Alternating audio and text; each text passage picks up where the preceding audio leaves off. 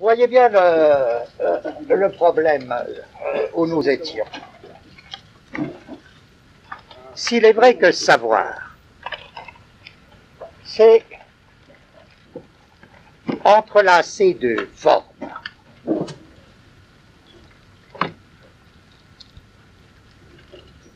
c'est-à-dire entrelacer le visible et l'énonçable. Ben, comment est-ce possible? Comment est-ce possible une fois dit que les deux formes sont hétérogènes et non communicantes? Hétérogènes et non communicantes, ça veut dire quoi?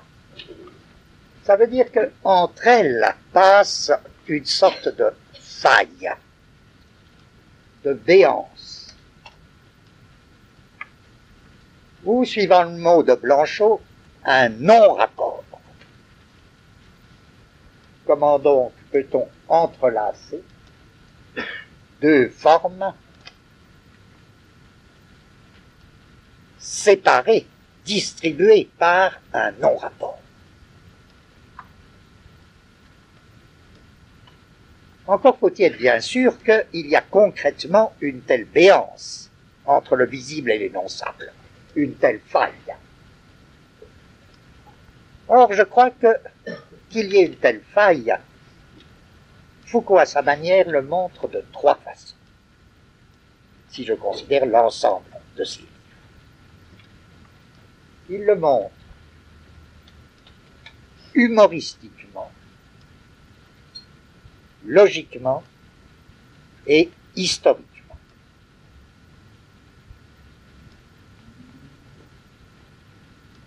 Humoristique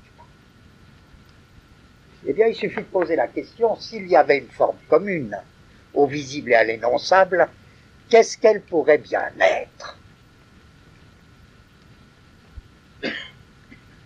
Et la réponse est donnée dans le petit livre Ceci n'est pas une pipe. À savoir, s'il y avait une forme commune à l'énonçable et au visible, cette forme apparaîtrait dans ce qu'on appelle un calligramme.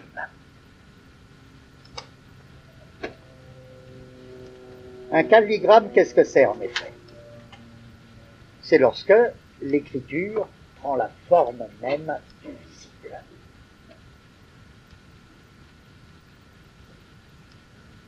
C'est-à-dire lorsque se fait une unification du visible et du lisible. Par exemple, vous faites un poème intitulé Le coquetier. Voyez? Le coquetier. Et vous lui donnez la forme visuelle d'un coquetier. Et vous commencez par un vers assez long. Euh, enfin, j'ai pas besoin, savez, ça, c'est pas mal.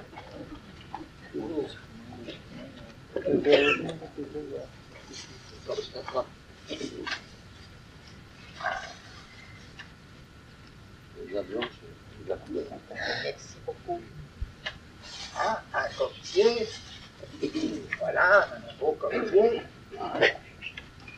Alors, euh, vous faites un verre d'abord là, comme ça, de cette longueur, un verre de cette longueur, un verre de cette longueur, un verre de cette longueur. Il y aura un verre tout court avec juste un, tout petit mot, un autre petit mot, et puis vous rajoutez, et vous avez fait un calligramme.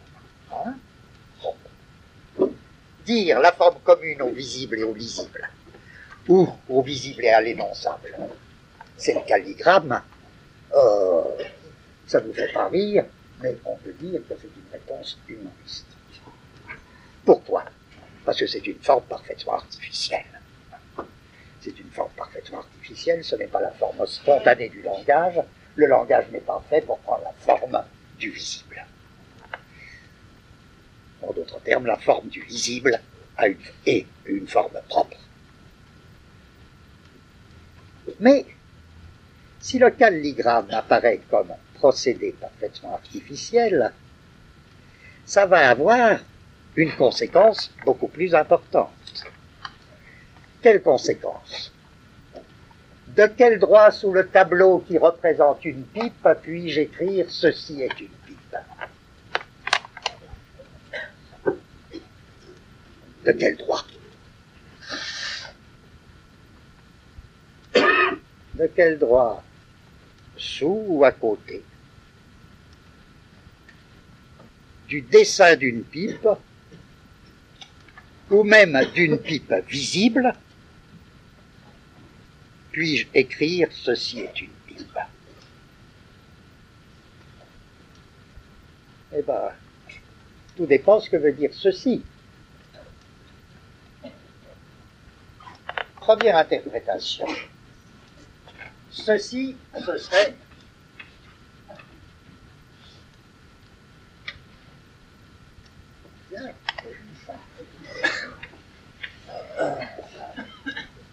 Première interprétation. Ceci, ce serait la pipe dessinée. Si ceci, c'est la pipe dessinée, l'énoncé, c'est quoi? C'est est une pipe. Or, ceci, la pipe dessinée, n'est pas un énoncé. Donc, l'énoncé, ceci est une pipe, se transforme immédiatement en ceci n'est pas une pipe. Deuxième interprétation. Ceci, c'est pas la publicité, ceci, c'est l'énoncé. Si ceci, c'est l'énoncé, l'énoncé, ceci, qui est un énoncé, n'est pas une pipe, une pipe visible. Donc vous ne pouvez pas dire ceci est une pipe confrontée à la pipe visible sans que l'énoncé ceci est une pipe ne se transforme en ceci n'est pas une pipe. Donc ce qui correspond à la pipe dessinée, c'est l'énoncé ceci n'est pas une pipe et pas du tout l'énoncé ceci est une pipe. C'est amusant. D'où, d'où le droit, d'où le droit logique de Magritte de dessiner la célèbre pipe et d'écrire dessous ceci n'est pas une pipe. Hein? Oh, ça va? C'est clair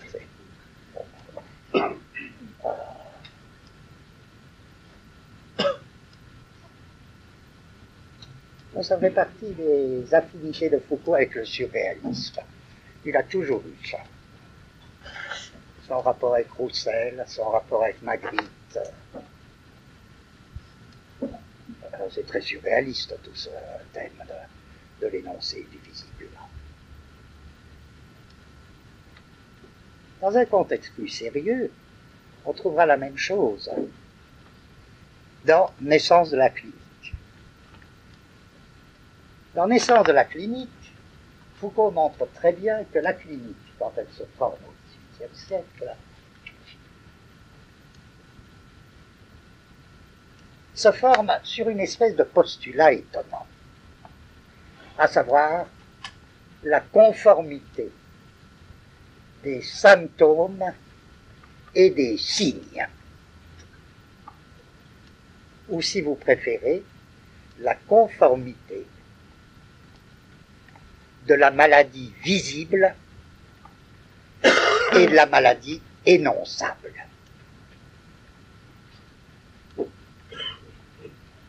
Comme s'il y avait une grammaire visible de la maladie et une visibilité grammaticale de la maladie.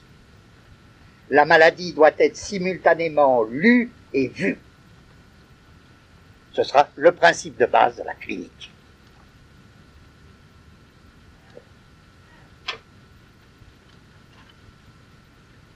Et ça dure ce que ça peut durer. Car enchaînera avec la clinique au XIXe siècle l'anatomie pathologique. Et l'anatomie pathologique restaurera l'hétérogénéité de la maladie visible et de la maladie dissible ou énonçable. Dans des conditions qu'on verra plus tard, pour dire c'est pas là-dessus que c'est pas ça que je veux développer aujourd'hui. Ce que je veux indiquer, c'est que, parlant précisément de ce postulat de la clinique au XVIIIe siècle, Foucault nous dira, mais ce n'est qu'un rêve. Rêve précisément dont va tomber l'anatomie pathologique. L'anatomie pathologique sera comme le réveil de ce rêve. Et page 117, vous avez ce texte qui m'intéresse beaucoup. La clinique est un équilibre précaire, car elle repose sur un formidable postulat. Un formidable postulat.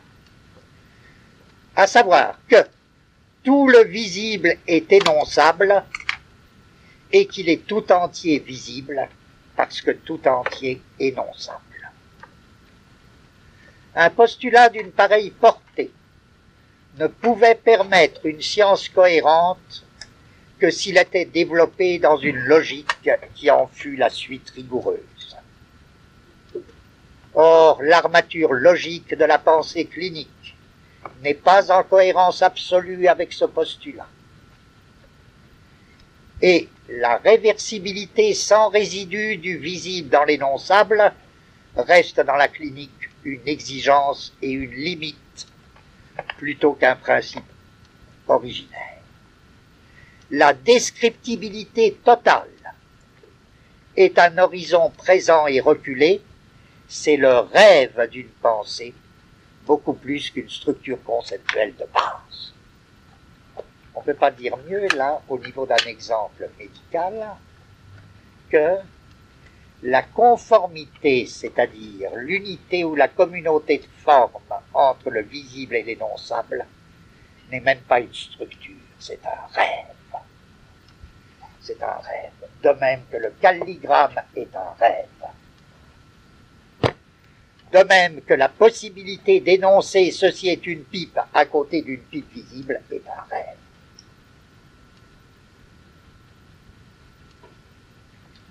Voilà pour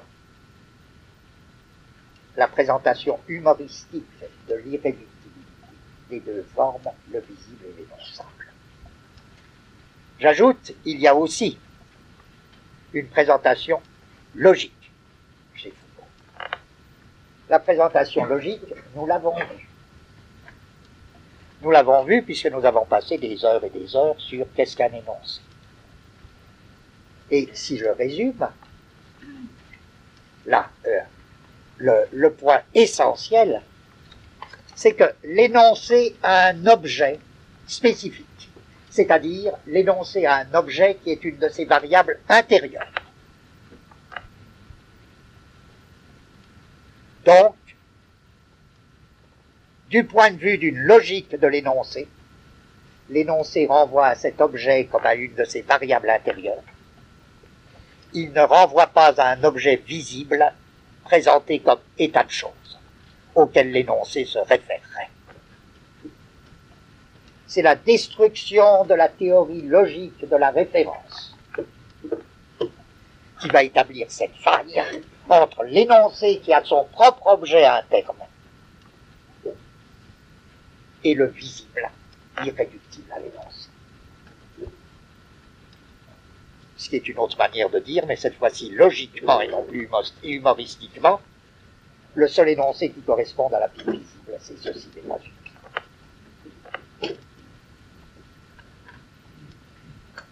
Troisième point, historiquement. Et c'est sans doute ce à quoi Foucault tient le plus parce que, à la rigueur, les deux points de vue précédents, il les renouvelle mais euh, on trouverait des précédents. Ce qui est vraiment original, il me semble, là, chez Foucault, c'est la démonstration historique de l'hétérogénéité des deux formes, le visible et l'énonçable. Et on a vu qu'il le poursuivait à travers deux livres qui se font écho. Histoire de la folie et Surveiller et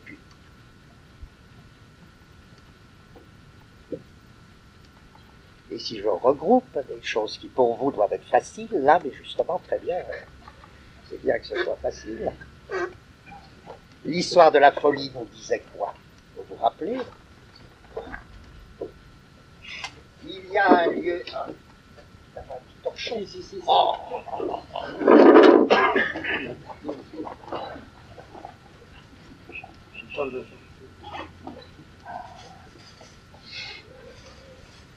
Et voilà. Je passe le copier, hein?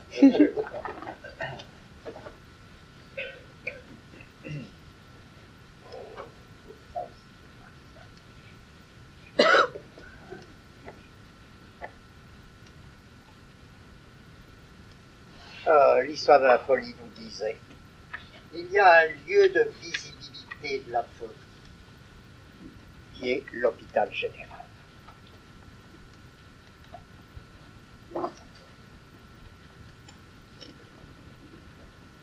Je cherche des énoncés qui correspondent. J'emploie correspondre en un sens très vague, en un sens égal X, puisque nous savons d'avance qu'il ne s'agit pas de dire c'est la même forme. Je cherche des énoncés qui correspondent. Qu'est-ce que je trouve? Je trouve des énoncés, par exemple médicaux, mais pas seulement médicaux, aussi des énoncés euh, réglementaires ou littéraires, qui sont des énoncés portant sur la déraison.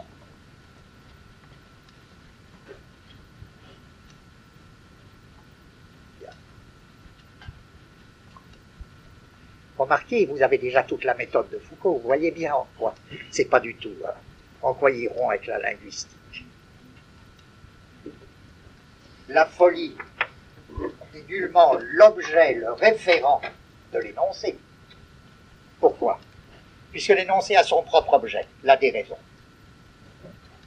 Vous me direz, mais la déraison et la folie, c'est la même chose. Non, c'est pas la même chose. Historiquement, c'est pas la même chose. Le fou, il est défini dans l'hôpital général.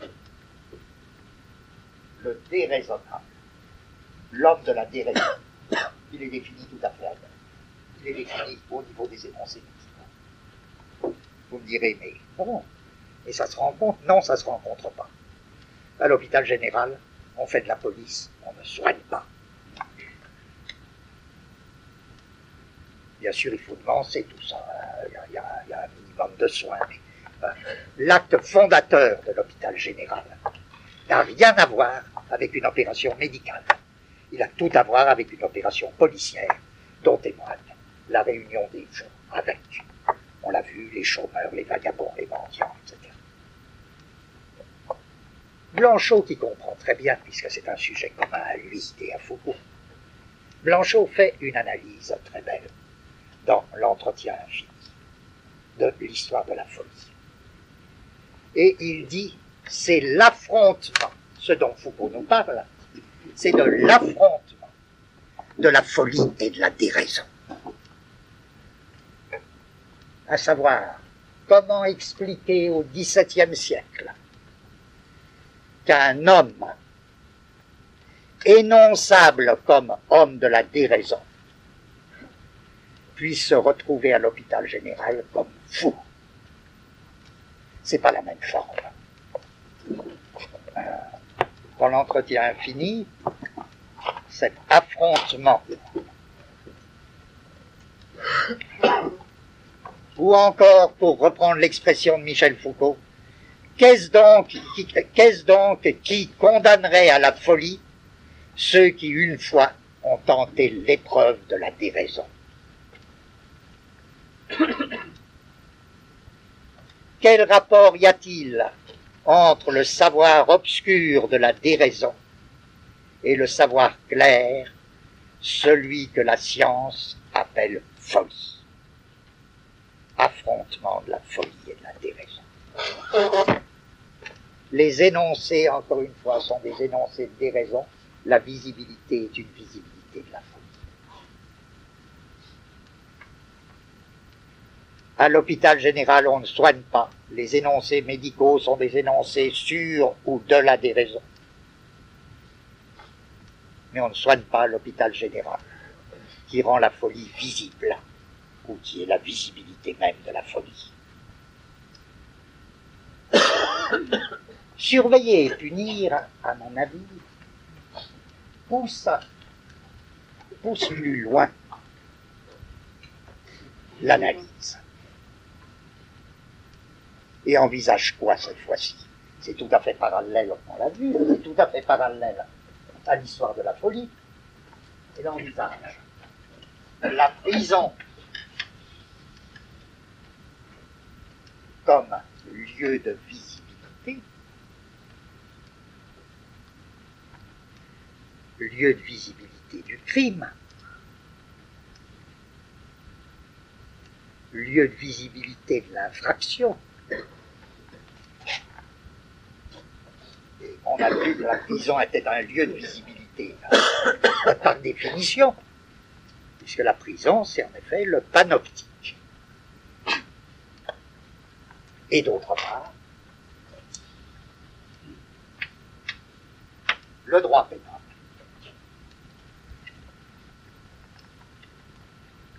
qui est un régime dénoncé. Or, on reprend la même question. Est-ce qu'il y a forme commune? Et la réponse de Foucault, par de longues analyses historiques, c'est non. Non. Il n'y a pas forme commune, au moment même où la prison apparaît, ou si vous préférez se généralise, le droit pénal, les énoncés de droit pénal, cherchent dans une toute autre direction. Le droit pénal ne comporte pas dans son horizon la prison.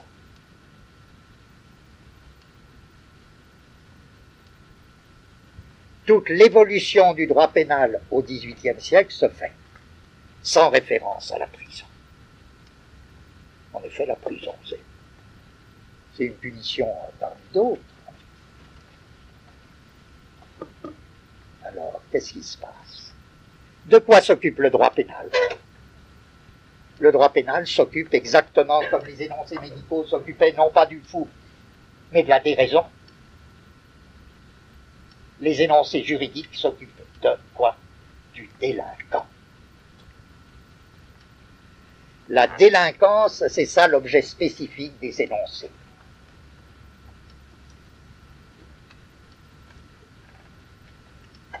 Pourquoi? Qu'est-ce que ça veut dire à la lettre? La délinquance est l'objet spécifique des énoncés, ça veut dire que les énoncés du droit pénal au XVIIIe siècle dans son évolution, dans l'évolution du droit, classent et définissent d'une nouvelle manière les infractions.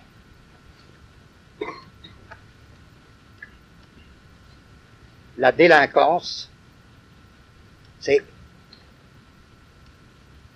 l'objet nouveau des énoncés de droit c'est-à-dire, c'est un nouveau, c'est une nouvelle manière de classer les infractions. On retrouvera ce thème plus tard. Là, je cherche uniquement pour le moment à dégager un schéma, un schéma presque formel.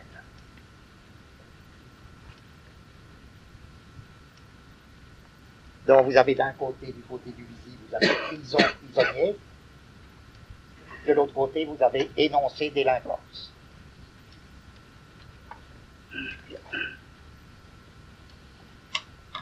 Tout ce thème, vous le trouvez, Surveiller et punir, deuxième partie, chapitre 1 et 2. Chapitre 1, analyse des énoncés de droit pénal au XVIIIe siècle. Chapitre 2, la prison ne renvoie pas à un modèle juridique. La prison n'est pas prise dans l'horizon, dans les objets de l'énoncé de droit pénal. Et alors d'où vient-elle? Elle vient d'un tout autre horizon, qui est quoi? Les techniques disciplinaires. Les techniques disciplinaires qui sont absolument différentes des énoncés juridiques.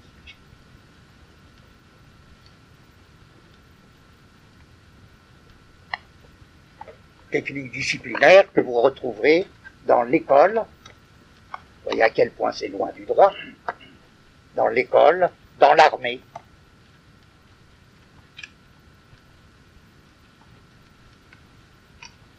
Dans l'atelier,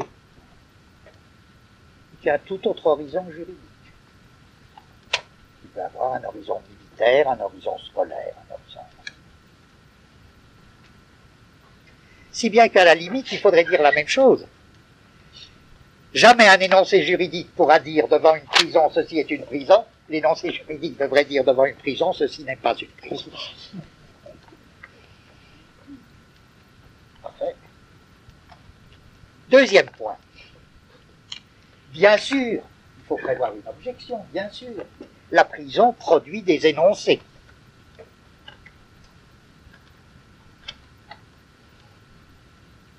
Et bien sûr,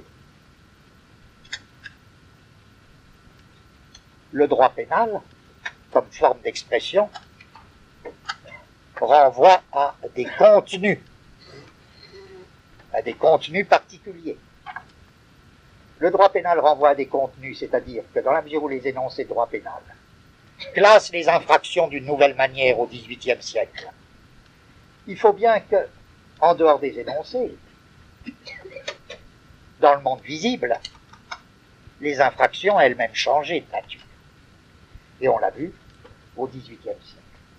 Tant à se faire, une espèce de mutation, sinon de mutation, du moins d'évolution des infractions, les infractions devenant de plus en plus des atteintes à la propriété. Et Foucault consacre trois, quatre pages à ce changement très très important, très intéressant, qui coïncide avec la fin des grandes jacqueries, avec la fin au XVIIe siècle, la criminalité était essentiellement une atteinte aux personnes. Avec les grandes bandes, les jacqueries rurales, les jacqueries euh, rurales, et au XVIIIe siècle se fait une espèce de conversion, de changement des infractions, qui a été très très bien étudié par un historien qui s'appelle Chaud. Euh, à partir des archives. Euh, c'est des choses qu'on peut trouver dans les archives. Il a beaucoup travaillé dans les archives normandes pour essayer de montrer comment se développent statistiquement des infractions fondées sur les petits groupements de criminels, contrairement aux grandes bandes euh, précédentes, et du type escroquerie, atteinte aux biens, et non plus atteinte aux personnes. Bon, alors, je dois dire que les énoncés, bien sûr, renvoient à des contenus extrinsèques et que les visibilités renvoient à des énoncés. Par exemple, la prison engendre des énoncés. Le règlement, le règlement de la prison. Les règlements de la prison sont des énoncés. Ça n'a pas grande importance que les visibilités renvoient à des énoncés, à des énoncés seconds, secondaires que les énoncés renvoient à des contenus extrinsèques, tout ça. Ça n'empêche pas que l'énoncé dans sa forme n'a jamais la forme du visible, et le visible dans sa forme n'a jamais la forme de l'énoncé. Et pourtant, troisième élément, et pourtant, il y a comme croisement. Et pourtant, il y a comme croisement. C'est-à-dire Lorsque la prison s'impose, venant d'un tout autre horizon que l'horizon juridique, alors, alors la prison se charge de réaliser les objectifs du droit pénal. Elle vient d'ailleurs, elle a une autre origine que le droit pénal, mais une fois qu'elle sait s'imposer. Mais je crois que quand même j'ai raison dans, ma présentation de la pensée de Foucault. J'ai raison car si vous regardez les textes de plus près, Foucault distingue deux types de délinquance. Un type de délinquance qu'on ne pourra expliquer que plus tard pourquoi il l'appelle comme ça, et qu'il appelle la délinquance illégalisme. Je dis juste la délinquance illégalisme c'est la délinquance comme notion qui permet de classer d'une nouvelle manière les infractions.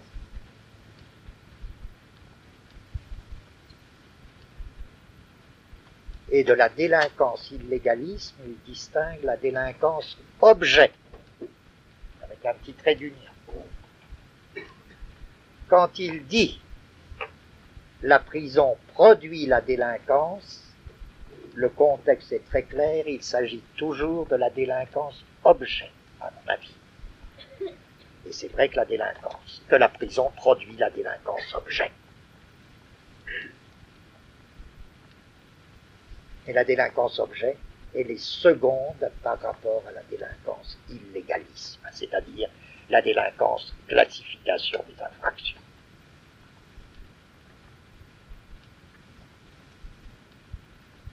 Donc, c'est dans un second temps, et là j'attire votre attention là-dessus parce que plus tard on retrouvera ce thème. Euh, par exemple, euh, quand on en sera, qu'est-ce que ça veut dire la mort de l'homme? On verra que dans les mots et les choses, on verra que les analyses historiques de Foucault, le plus souvent, sont binaires. En quel sens? Elles distinguent le plus souvent deux temps, deux temps successifs. On va se demander pourquoi cette binarité très très curieuse, très frappante. Là, on le voit dans Surveiller et punir. Premier temps. La prison et le droit pénal ont deux formes différentes, irréductibles,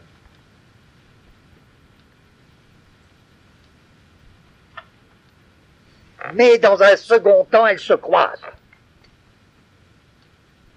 Elles se croisent, à savoir, le droit pénal reconduit des prisonniers, c'est-à-dire refournit perpétuellement des prisonniers,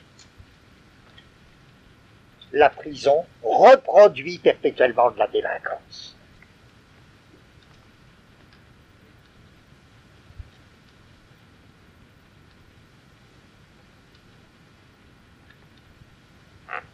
Bon, si bien que nous rebutons sur toujours la nécessité où nous sommes de maintenir ces trois points de vue, dans lesquels on essaie de se débrouiller, à savoir hétérogénéité des deux formes, négation de tout isomorphisme. Il n'y a pas isomorphisme entre le visible et l'énoncable. C'est le premier point. Deuxième point, c'est l'énoncé qui a le primat.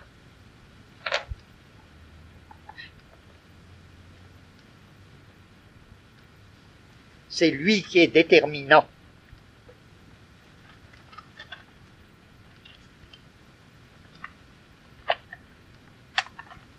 Troisième aspect, il y a capture mutuelle entre le visible et l'énonçable, du visible à l'énonçable et de l'énonçable au visible. On l'a vu, c'est typiquement. La prison reproduit de la délinquance, le droit pénal reconduit à la prison, ou refournit des prisonniers. Là, vous avez capture mutuelle. Et je dis, vous voyez bien que toute la pensée de Foucault, en effet, devient irréductible, et d'autant plus irréductible à l'analyse des propositions, l'analyse linguistique, que vous voyez que le visible et l'énonçable sont dans un tout autre rapport que la proposition et le référent, que la proposition et l'état de choses, d'une part, et d'autre part. Le visible et l'énonçable sont dans un tout autre rapport, évidemment, que le signifié et le signifiant. Je ne peux pas dire, la prison c'est le signifié le droit pénal c'est le signifiant.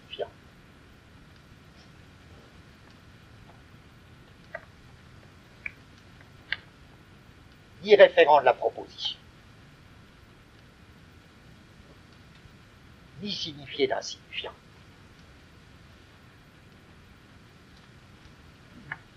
Foucault peut donc à bon droit estimer que sa logique des énoncés, doublée d'une physique de la visibilité,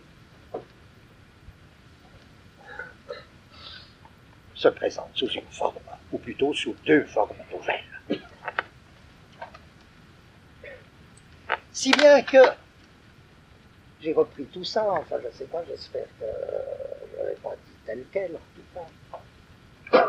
Si bien qu'on se trouve devant, à ce niveau, euh, je fais la soudure avec notre séance précédente, on se trouvait devant quatre confrontations à faire en fonction de cette hétérogénéité fondamentale du visible et de l'énonçable. On se trouvait devant quatre confrontations. Première confrontation, c'était la confrontation avec Kant. Et pourquoi est-ce qu'elle était nécessaire? Elle était nécessaire pour une raison très simple, c'est que nous venait à l'esprit, comme ça, comme une espèce de petite buée, que, après tout, Kant avait été le premier philosophe à construire l'homme à partir et sur deux facultés hétérogènes. Une faculté de réceptivité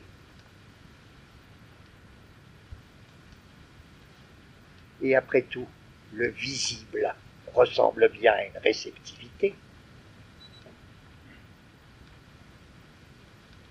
et une faculté de spontanéité. Et après tout, l'énoncé dont nous avons vu qu'il était déterminant, qu'il avait le primat, ressemble bien à une espèce de spontanéité. Donc, nécessité d'une euh, confrontation avec Kant sous la euh, question générale peut-on dire que Foucault est d'une certaine manière néo-kantien? Deuxième confrontation nécessaire, confrontation avec Blanchot, qu'on a souvent eu déjà l'occasion d'invoquer, puisqu'un des thèmes fondamentaux de Blanchot, c'est parler, ce n'est pas voir.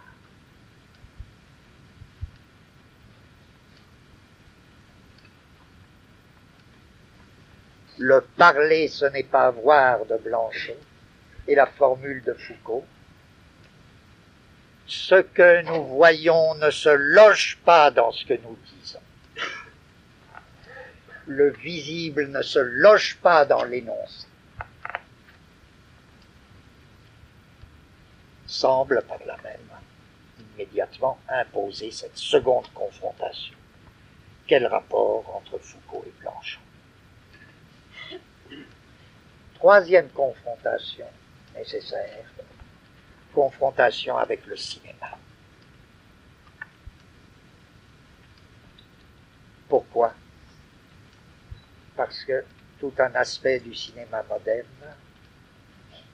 et sans doute les plus grands auteurs contemporains, se définissent de la manière la plus sommaire, si l'on cherche le caractère le plus sommaire de ces auteurs, on peut dire qu'ils ont introduit dans le cinéma une faille, une béance fondamentale entre l'audio et le visuel.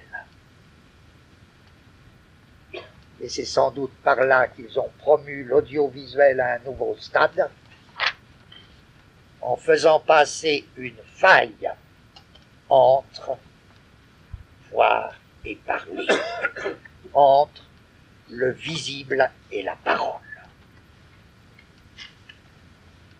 Et chacun de vous est capable de reconnaître trois des plus grands noms du cinéma, là dans toute évidence, du cinéma contemporain, à savoir Siderberg, Lestraube et Marguerite Duras.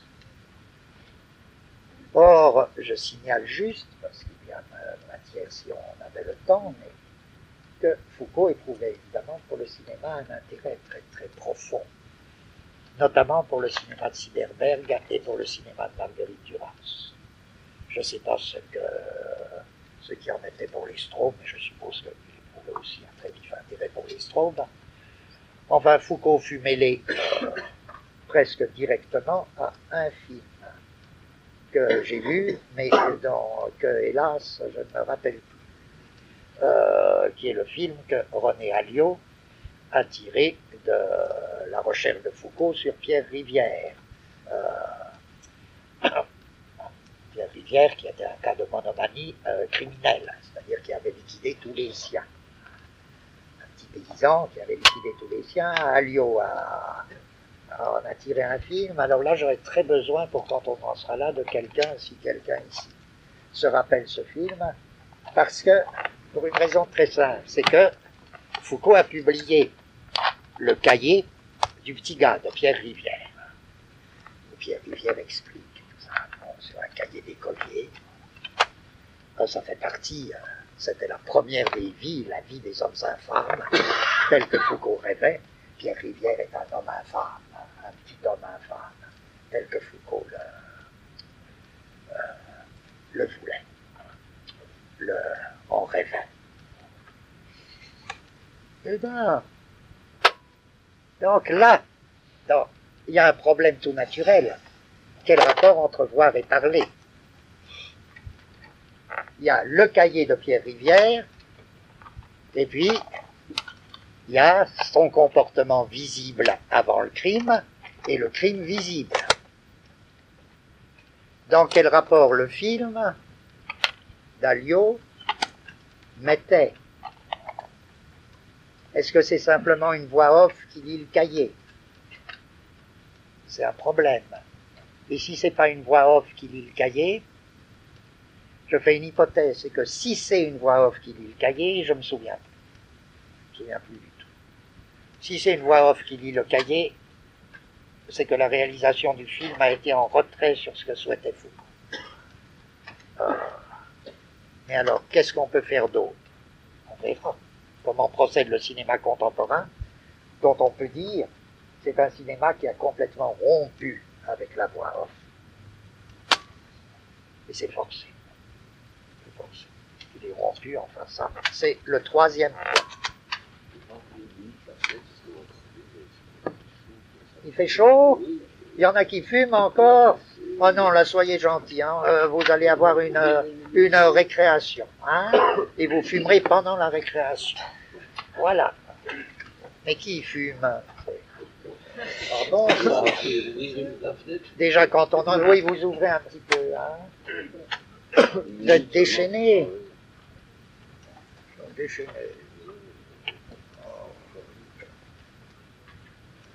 T'as vu ça qui fume?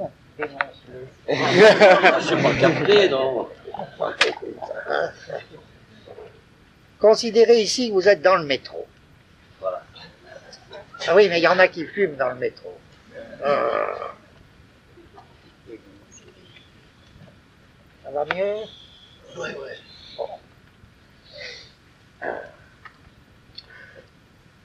Euh, dernière confrontation. Bon, si l'on a bien mené ces trois confrontations, on est mûr pour se demander, mais quant au rapport, entre guillemets rapport, quant au rapport du visible et de l'énonçable, quelle est la réponse propre de Foucault? Est-ce que c'est la même que celle de Kant? Est-ce que c'est la même que celle de Blanchot? Est-ce que c'est la même que celle du cinéma? Ou est-ce qu'il y a une réponse propre de Foucault? Ce qui nous mène à la quatrième et dernière confrontation, à savoir pourquoi Foucault éprouvait-il tant de plaisir et tant d'affinité avec le poète Raymond Roussel? Qu'est-ce qui tirait de Raymond Roussel? Pourquoi est-ce qu'il a éprouvé le besoin de faire un livre sur Raymond Roussel?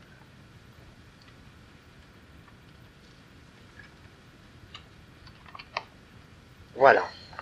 Voilà notre programme. Et on l'a déjà entamé, puisque la dernière fois, on disait, ben oui, il y a une très curieuse aventure kantienne. C'était donc la première confrontation. Il y a une très curieuse aventure kantienne qui est quoi? C'est que Kant est le premier, je disais, à construire l'homme sur deux facultés hétérogènes, irréductibles. Et ces deux facultés irréductibles hétérogènes, c'est quoi? C'est, vous vous rappelez, c'est la réceptivité et la spontanéité, mais qu'est-ce que c'est? La réceptivité, c'est la faculté d'intuition. C'est-à-dire, par intuition, au sens kantien, il faut entendre quelque chose de très précis. C'est la forme sous laquelle tout ce qui m'est donné est donné. Quelle est la forme sous laquelle tout ce qui est donné est donné? La réponse kantienne très rigoureuse, c'est que tout ce qui est donné est donné dans l'espace et dans le temps. Donc, l'espace-temps, c'est la forme de l'intuition.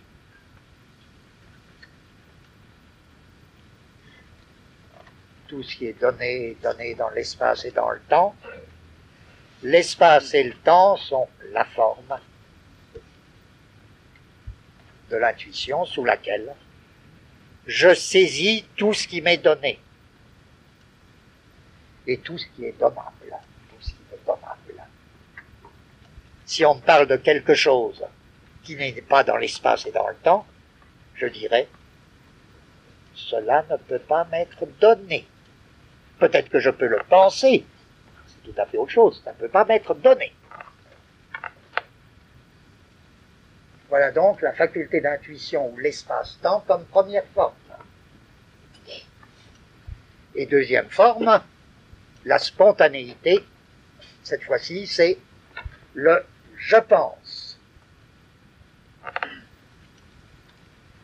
Pourquoi est-ce que le je pense est une spontanéité ou une activité par différence avec la réceptivité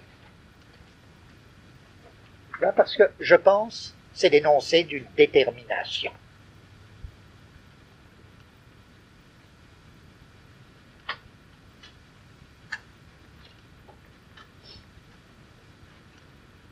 C'est une détermination. Alors, euh, j'en étais euh, là la dernière fois à euh, cette considération, mais pourquoi est-ce que Kant construit ainsi l'homme et pourquoi est-ce que ça n'a pas été fait avant? Pourquoi est-ce que cette idée des facultés hétérogènes, pourquoi est-ce qu'il a fallu attendre Kant Là, ma réponse était très simple, la métaphysique ne peut pas. C'est pas qu'elle ne veut pas, elle ne peut pas. La métaphysique ne peut pas atteindre à ce thème des facultés hétérogènes.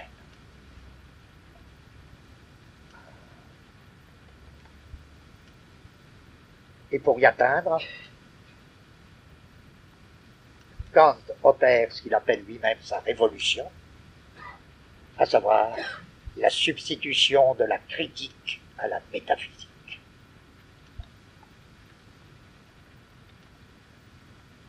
Pourquoi que la métaphysique, elle ne peut pas, on l'a vu la dernière fois, c'est que ce qui définit la métaphysique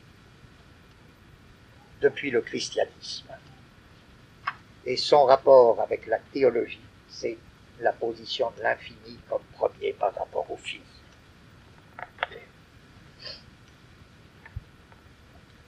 Seulement si l'infini est premier par rapport au fini, comprenez, nos facultés sont nécessairement homogènes en droit. Oh, comme c'est curieux ça. Pourquoi? Pourquoi est-ce que si euh, l'infini est premier par rapport au fini, nos facultés sont homogènes en droit? Parce que nous sommes finis en fait, mais la finitude n'est qu'un fait. Ce qui est premier par rapport au fini, c'est l'infini. Et l'infini, c'est quoi? C'est d'abord l'entendement de Dieu. L'entendement infini, toute la métaphysique du XVIIe siècle est remplie de considérations sur l'entendement infini. Mais l'entendement infini, c'est quoi? L'entendement de Dieu. Dieu, c'est l'être pour lequel il n'y a pas de données. En effet, Dieu crée et crée ex nihilo, c'est-à-dire à partir de rien. Il n'y a même pas du matériau qui lui soit donné. Dès lors, la distinction d'un donné et d'un agi n'existe pas pour Dieu.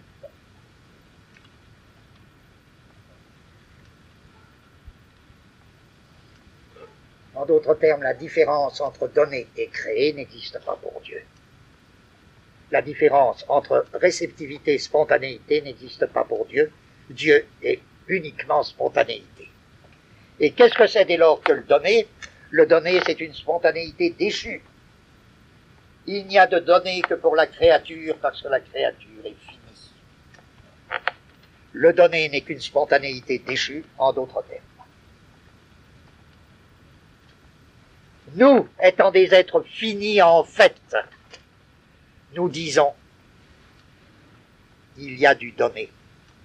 Pour Dieu, il n'y en a pas. En d'autres termes. C'est uniquement notre finitude qui fait la différence de la réceptivité et de la spontanéité. Cette différence ne vaut pas au niveau de Dieu. Or, Dieu, c'est le droit. Je veux dire, c'est l'état de choses tel qu'il est en droit. Voilà, c'est très simple, vous voyez. Bon, qu'est-ce que je pense? Pour que le kantisme soit possible, il faut qu'il y ait une promotion de la finitude. Il faut que la finitude ne soit plus considérée comme un simple fait, fait de la créature il faut que la finitude soit promue à l'état de puissance constituante. Voyez en quoi la finitude constituante, vous pouvez vous dire, c'est pour ça que l'habitant se réclamait de Kant. Kant, c'est l'avènement d'une finitude constituante, c'est-à-dire la finitude n'est plus un simple fait qui dérive d'un infini originaire, c'est la finitude qui est originaire. C'est ça la révolution kantienne. Dès lors, ceux qui accèdent au jour, c'est l'irréductible hétérogénéité des deux facultés qui composent, c'est-à-dire qui composent mon esprit, la réceptivité et la spontanéité réceptivité de l'espace-temps, spontanéité du je pense. Enfin, l'homme devient difforme. Difforme au sens étymologique du mot, c'est-à-dire disforme. Il claudique sur deux formes. Il claudique sur deux formes hétérogènes et non symétriques. Réceptivité de l'intuition, spontanéité du je.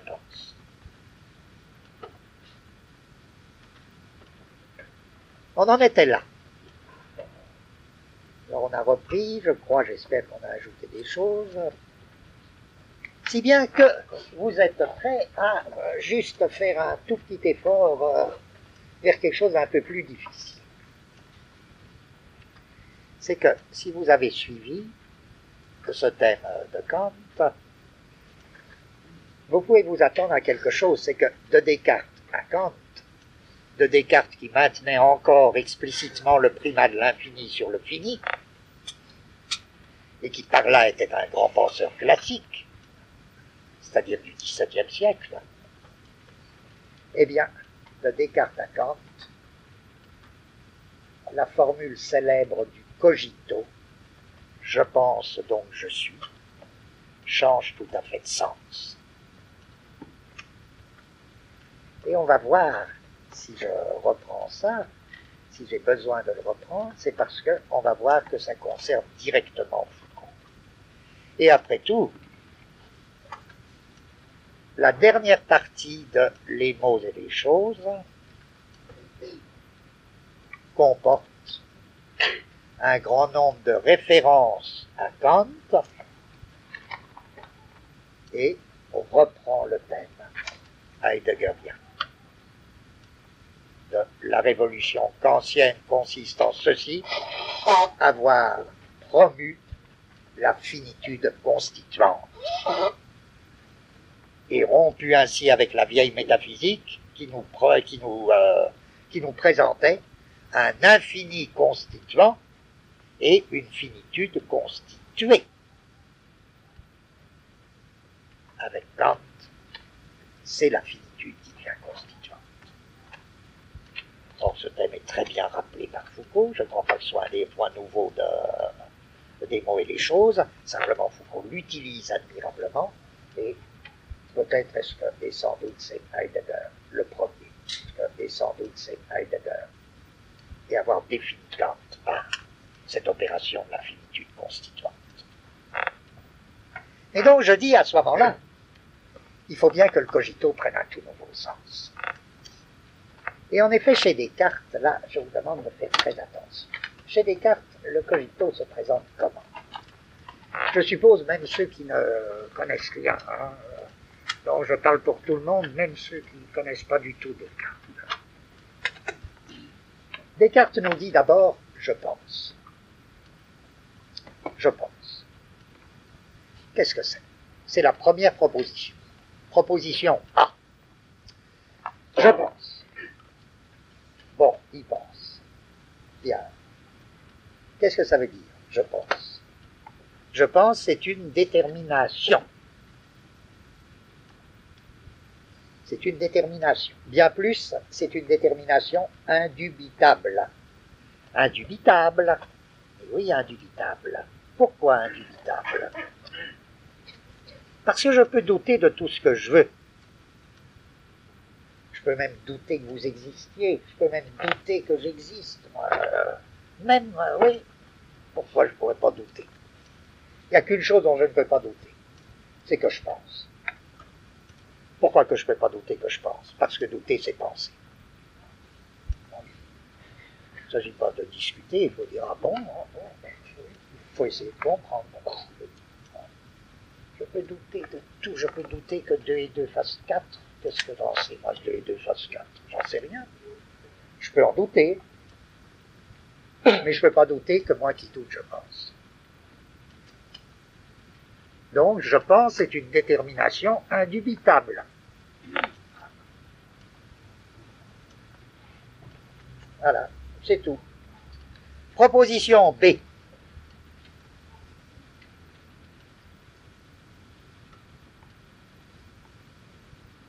On voit bien que le cogito, c'est pas je pense donc je suis.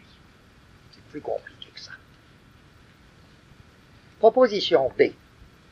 Je suis. Et pourquoi je suis? Pour une raison très simple, c'est que pour penser, il faut être. Si je pense, je suis. L'énoncé du cogito au niveau B, c'est donc Or, si je pense, je suis. Proposition A, je pense. Proposition B, Or, si je pense, je suis. Pourquoi que si je pense, je suis? Je pense est une détermination indubitable. Il faut bien qu'une détermination porte sur quelque chose, sur quelque chose d'indéterminé. Toute détermination détermine un indéterminé. En d'autres termes, je pense suppose être, suppose un être. Je ne sais pas en quoi il consiste cet être, je n'ai pas à le savoir. Je pense est une détermination qui suppose un être indéterminé. Je suis. Et le je pense va déterminer le je suis. Puisque c'est une détermination, le je pense. Mais la détermination suppose un indéterminé. Que tout cela est beau.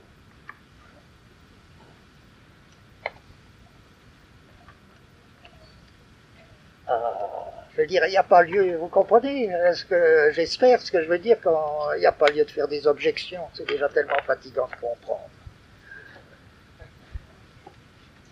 Je pense, je suis, ben oui. Si je pense, je suis. Je suis quoi? À ce niveau, une existence indéterminée. Proposition C. Mais qu'est-ce que je suis?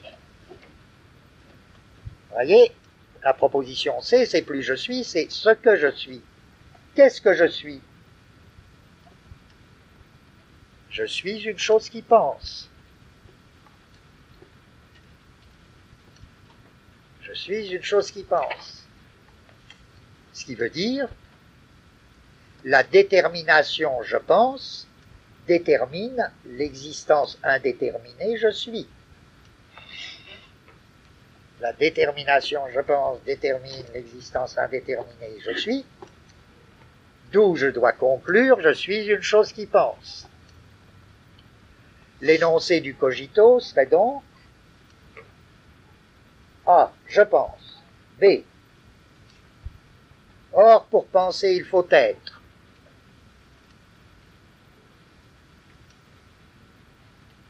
C. Donc, je suis une chose qui pense. Voilà. En d'autres termes, je dirais que Descartes opère, là c'est très important pour moi, pour l'avenir, Descartes opère avec deux termes, je pense et je suis, et une seule forme, je pense. En effet, je suis, c'est une existence indéterminée, donc qui n'a pas de forme. Je pense, c'est une forme. La pensée est une forme. Elle détermine l'existence indéterminée. Je suis une chose qui pense. Il y a deux termes, je pense et je suis, et une seule forme. Je pense. D'où l'on conclut, je suis une chose qui pense. Ça va?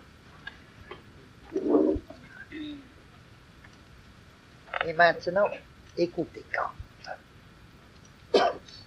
Kant conserve A et B. Il conserve A et B. C'est-à-dire, il dira d'accord, je pense.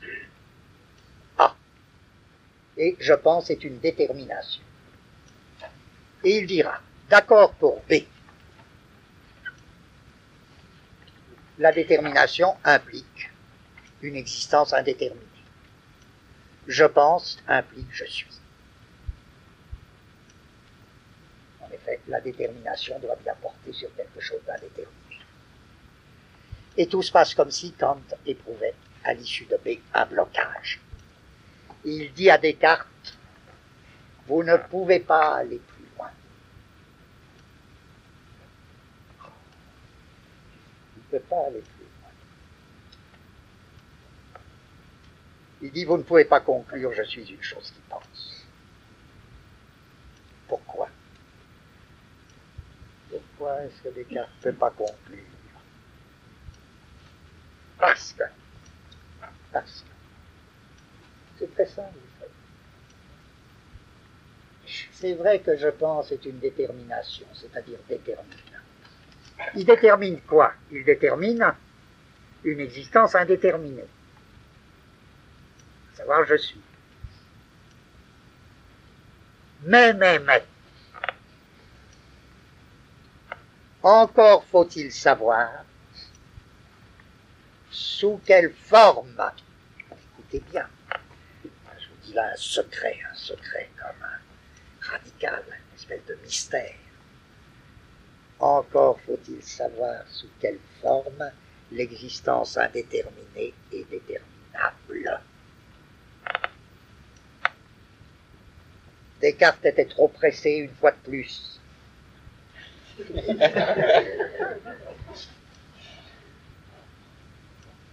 Il a cru que la détermination pouvait porter sur l'indéterminé directement. Et comme je pense la détermination impliquait je suis l'existence indéterminée, il concluait je suis une chose qui pense. Rien du tout.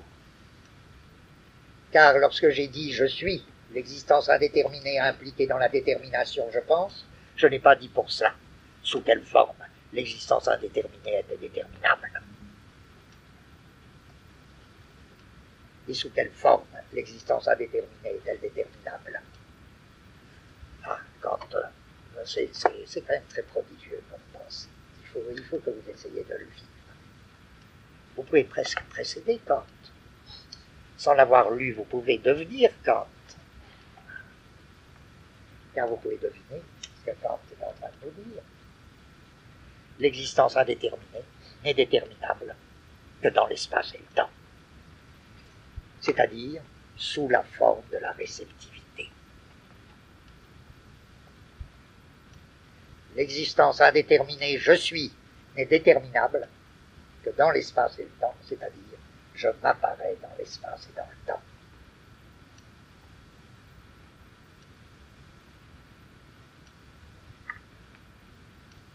C'est-à-dire, l'existence indéterminée n'est déterminable que sous la forme de la réceptivité. Quelle histoire Pourquoi? Je pense c'est ma spontanéité, ma détermination active. Mais voilà que ma spontanéité, le je pense, ne détermine mon existence indéterminée dans l'espace et dans le temps. C'est-à-dire sous la forme de ma réceptivité. Qu'est-ce que ça va faire? Ça, va faire une drôle de chose. En d'autres termes, la détermination ne peut pas porter directement sur de l'indéterminé. La détermination, je pense, ne peut porter que sur du déterminable.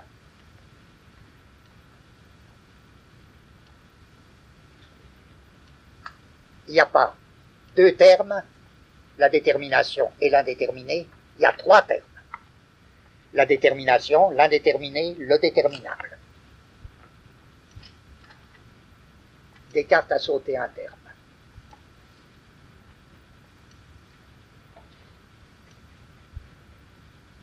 Mais alors, si mon existence indéterminée n'est déterminable que sous la forme de la réceptivité,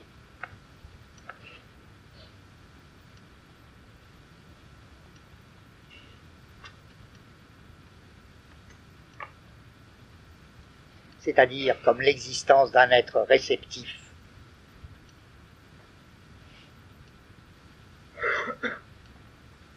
je ne peux pas déterminer mon existence comme celle d'un être spontané.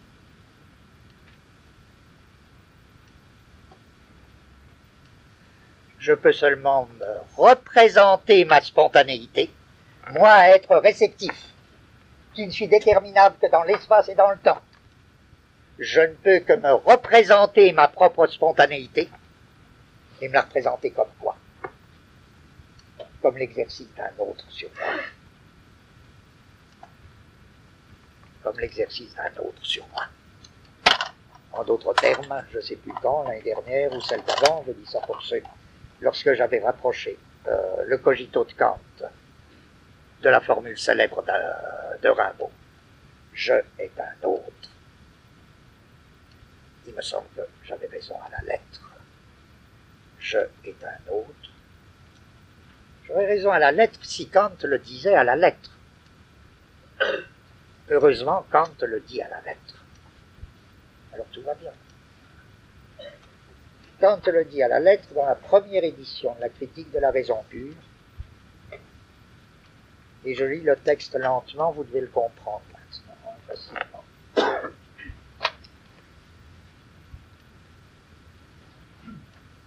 Le je pense exprime l'acte qui détermine mon existence. Pas de difficulté, ça veut dire le je pense est une détermination et par là même c'est ma spontanéité. Le je pense exprime l'acte qui détermine mon existence. L'existence est donc déjà donnée par là. L'existence indéterminée. L'existence est donc déjà donnée par là. Mais pas la manière de la déterminer. Comprenez mon avis, je, suis sûr que la traduction n'est pas bonne là, et, euh, c'est pas gênant, mais pas la manière de la déterminer, ça veut dire pas le mode sous lequel elle est déterminable.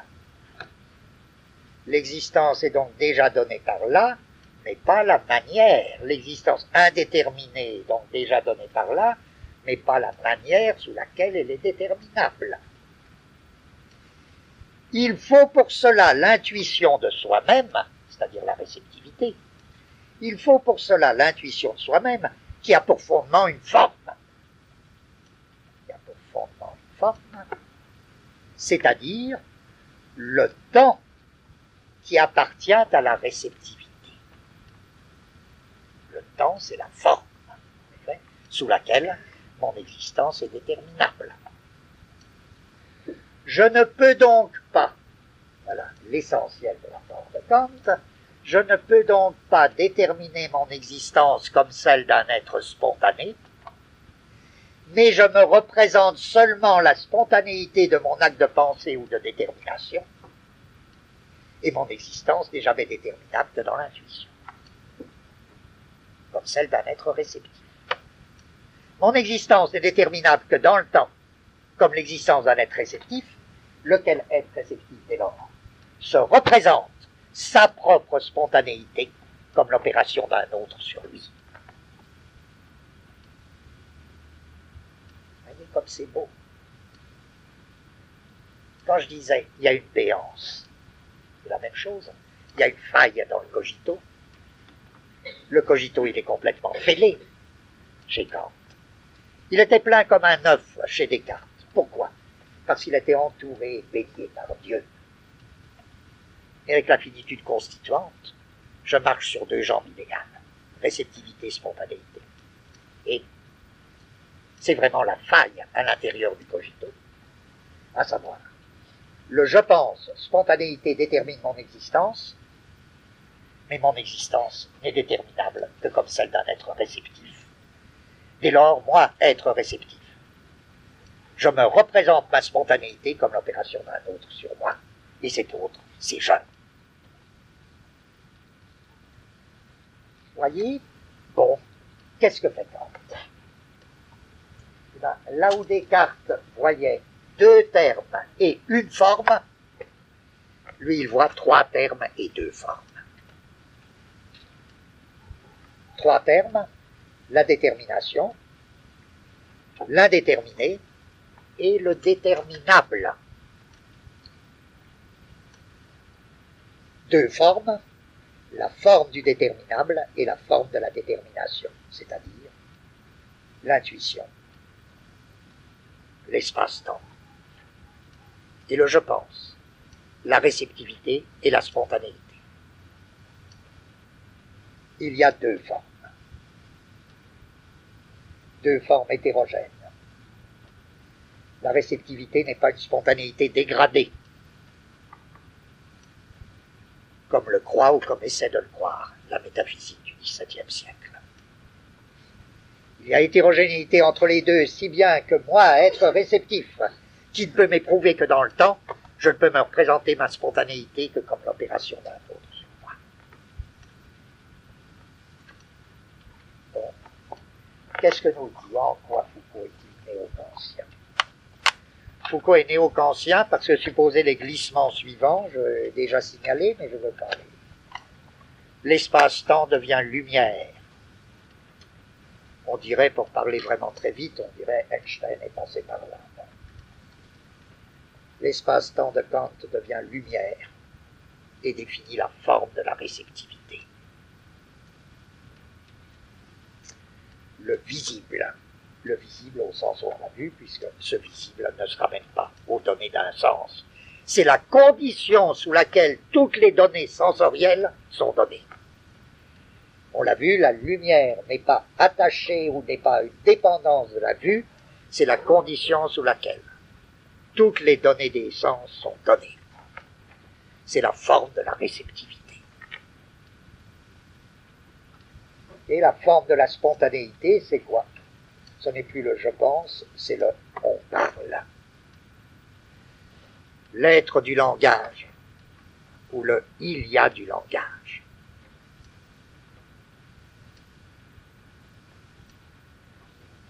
C'est la forme de la détermination.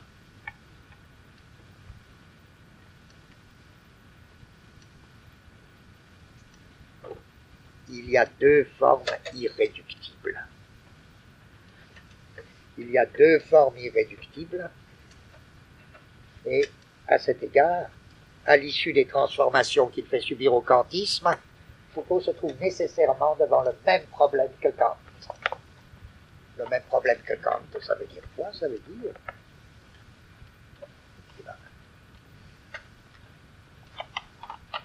entre la réceptivité et la spontanéité, entre la lumière et le langage, entre le déterminable et la détermination. Il y a béance ou non-rapport, et pourtant il faut bien qu'il y ait un rapport. la réponse de Kant, et même en la résumant, ça nous servira pour l'avenir de nos analyses sur Foucault, la réponse de Kant, ce sera oui. Il faut, il faut un, un tiers élément. Il faut un troisième. Et non seulement il faut un troisième pour mettre en rapport le sans rapport, c'est-à-dire l'espace-temps et le je pense, la réceptivité et la spontanéité. Mais il faut que ce troisième soit sans forme. Un élément informel, un obscur élément informel. Qui d'un côté, c'est le grand mystère, serait homogène à l'intuition, à l'espace et au temps, et d'un autre côté serait homogène au je pense, au concept. Alors, réceptivité et spontanéité seraient hétérogènes, mais voilà qu'il y aurait une tierce instance qui serait homogène pour son compte à l'intuition et homogène au je pense. Et c'est bizarre ça. Quelle drôle d'instance. Kant nous dit c'est le plus mystérieux de, de l'homme, et c'est l'imagination. Le plus mystérieux de l'homme, une instance qui est homogène à chacune des deux instances hétérogènes. Et pourquoi est-ce qu'il dit ça? C'est arbitraire, c'est pas. Il veut dire une chose très simple. Écoutez encore. Il dit le prof de l'imagination, c'est de schématiser. Et qu'est-ce que c'est qu'un schème? Et ben voilà, un schème, c'est un drôle de truc. Un schème, c'est un ensemble de déterminations spatio-temporelles qui correspondent à un concept.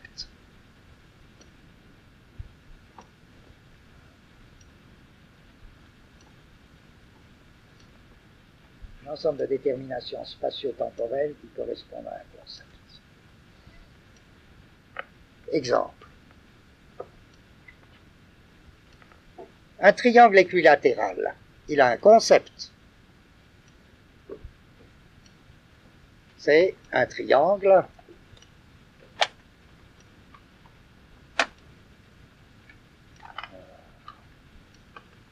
qui a trois côtés, trois angles égaux. Bon. Ou un triangle rectangle. C'est un concept. Un triangle qui a un angle droit. Qu'est-ce que c'est que le schème Le schème, c'est la règle de construction.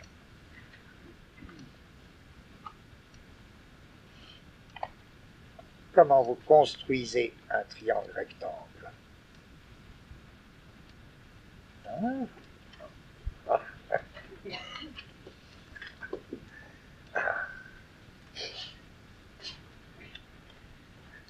Je vois bien, il y en a qui ont un franc sourire, je dis cela, ils savent. Et puis il y en a qui prennent l'air abstrait, gênés. Je dis cela, ils ont oublié. Alors je ne vais pas vous supprimer la surprise, hein, vous vous reporterez à vos manuels ordinaires de géométrie, mais par exemple, pour construire un triangle rectangle, il faut tracer un cercle. Hein, comment on trace? Qu'est-ce que c'est la règle de construction d'un cercle hein? Je vous renvoie à votre manuel ordinaire. Ce sera le schème du cercle, la règle de construction du cercle. Bon, si vous tracez un, un cercle, vous prenez le demi-cercle, construction du demi-cercle, comment on fait pour avoir un demi-cercle? En tout ça, schème renvoyant à des schèmes. Hein. Et puis vous tracez votre triangle rectangle. La règle de construction, c'est ça. De même, un triangle équilatéral. Comment le construire? Là, ça se construit avec quoi? La règle et le compas. Règle et compas sont des instruments de construction. Hein, vous voyez, vous tracez un trait à la règle, vous prenez une extrémité du trait, de la ligne, vous agissez avec votre compas, vous faites quelque chose, vous voyez, bon, voilà, bien. Alors, ce sont des règles de construction, mais admirez ce que c'est qu'une règle de construction. Une règle de construction, c'est une règle qui construit l'objet d'un concept, l'objet, qui construit, qui produit l'objet d'un concept où? Dans l'espace et dans le temps.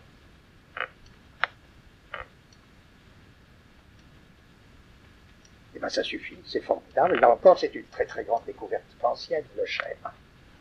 Le schème de l'imagination. C'est formidable comme notion. Donc, le schème, il est d'une part homogène à l'espace et au temps, puisqu'il détermine l'espace et le temps. C'est une détermination d'espace et de temps. Vous me direz, le temps, il joue quoi là-dedans?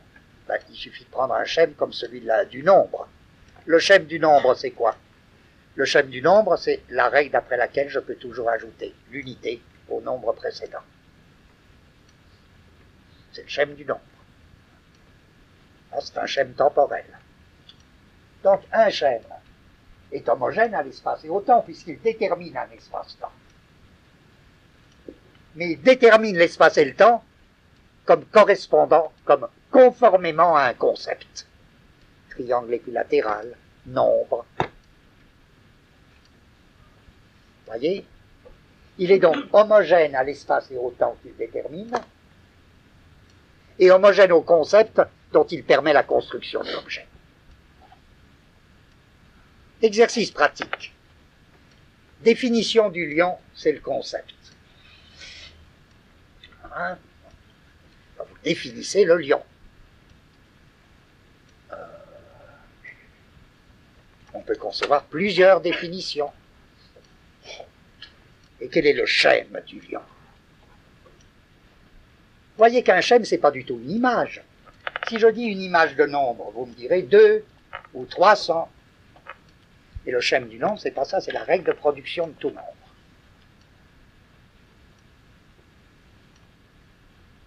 Si je vous dis image d'un triangle équilatéral, vous n'avez pas de difficulté, vous venez vous tracez un triangle équilatéral. Enfin, vous n'avez pas de difficulté, je ne sais pas. vous en faites un, indépendamment de toute règle de construction, vous en faites un à peu près. Bon, mais c'est pas ça le schème. Le schème, c'est pas une image. C'est la règle de production de toute image comme correspondante au concept, ou comme conforme au concept. Alors le schème du lion, c'est pas un lion, une image de lion, c'est un lion, celui-ci. Ah oui, le lion que j'ai vu au cirque l'autre jour, ou que j'ai vu à la télé. Euh... Bon, mais c'est pas ça, un schème de lion. C'est bien mieux que ça, ça, ça fait partie, en effet, des mystères de l'imagination. Un schème de lion, ce sera quoi, par exemple? C'est toujours un dynamisme. C'est un dynamisme spatio-temporel. Vous pouvez rêver, là, vous pouvez rêver, euh, rêvons, quand vous avez un concept, là, un concept comme euh, la vache, euh, comme le lion, la vache, qu'est-ce que c'est le chêne de la vache?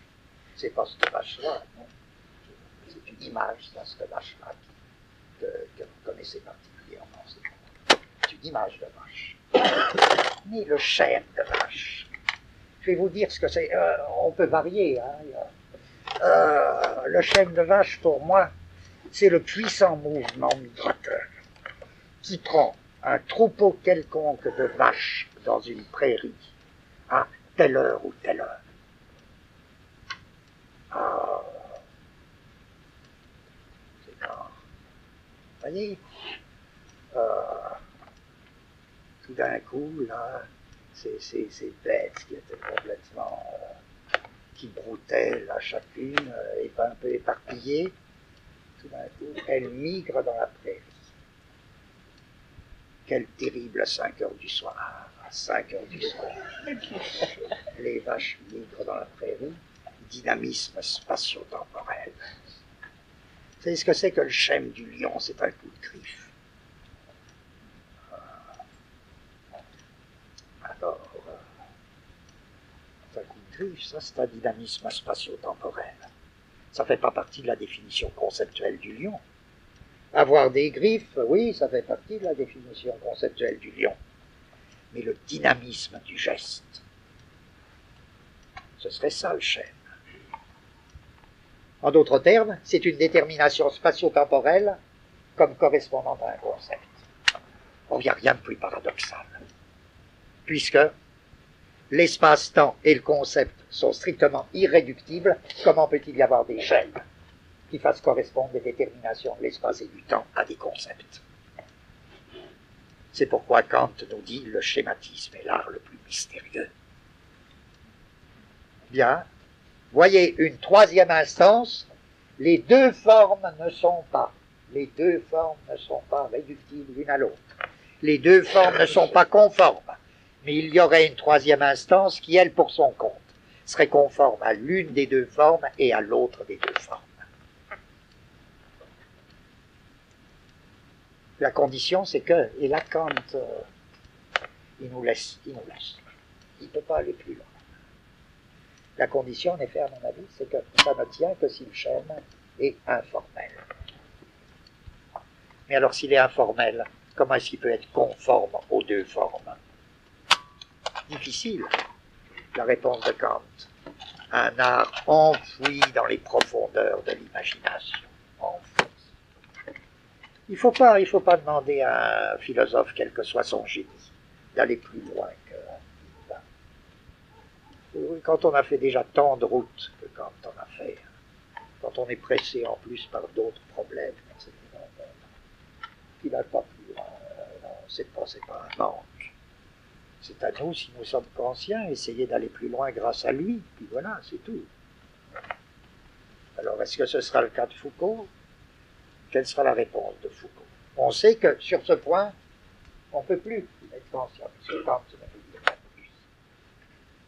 Mais est-ce qu'il y aura, voilà exactement ma question pour plus tard, est-ce qu'il y aura chez Foucault quelque chose qui fonctionne même vaguement comme le schématisme de l'imagination chez Kant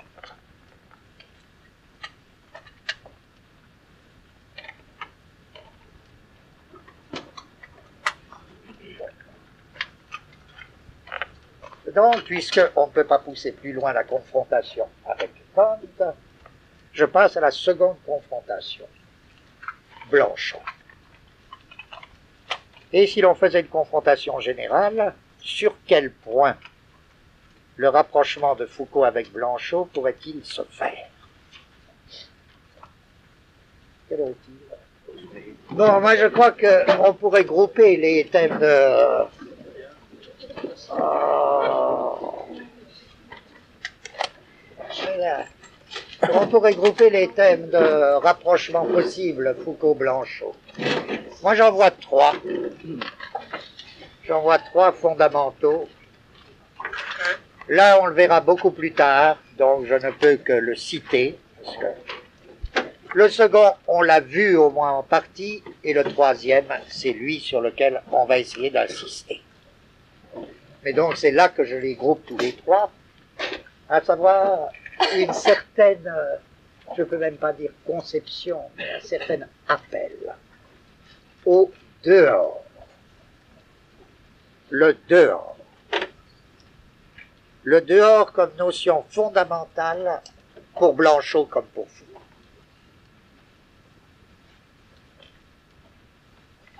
Qu'est-ce que c'est que le dehors? Eh bien, cela couvre à la fois la critique de toute intériorité. Excusez-moi. En plus, il me frappe. La critique de toute intériorité et aussi le dehors ne se réduit pas mais dépasse l'extériorité. Car l'extériorité est encore une forme. Le dehors comme élément informel.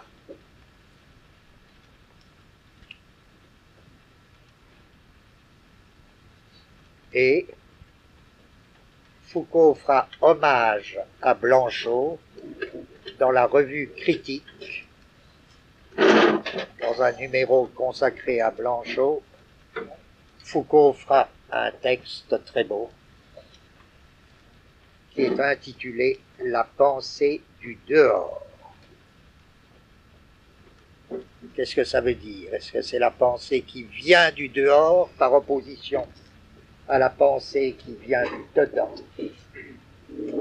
À la pensée du dehors, le thème du dehors est un thème, je crois, très original chez Blanchot et que Foucault reprend à sa manière. Donc on aura à voir, mais ça c'est pour l'avenir, puisqu'on est loin d'en être là. La deuxième ressemblance, on l'a vu, c'est la promotion du on ou du il à savoir la critique commune chez les deux de tout personnalisme et de toute personnologie, même linguistique. On l'a vu, à savoir la dévalorisation du je au profit de la non-personne, c'est-à-dire de la troisième personne. Et au-delà de la troisième personne, au-delà même du il, le on. Et chez Blanchot, non seulement il y a un. On parle, peut-être, on va voir, peut-être un on voit, mais surtout il y a un on meurt. C'est dans l'espace littéraire que se développe le plus la ligne du on meurt. Et peut-être que cette ligne du on meurt si profonde chez Blanchot, non pas je meurs, mais la mort comme événement du on, peut-être est-ce qu'elle ne fait qu'un avec le problème que nous réservons pour l'avenir, c'est-à-dire le problème du dehors. Le on meurt c'est la mort qui vient du dehors. Chez Foucault, vous retrouverez, on l'a vu, au niveau même de la théorie de l'énoncé, comment la première et la seconde personne font place à une non-personne, c'est-à-dire la position du sujet comme variable de l'énoncé, irréductible à tout je, et qui se présente toujours sous la forme d'un il, tous les ils prenant place dans le cortège d'un on. On parle. Et le on meurt, vous le retrouverez aussi.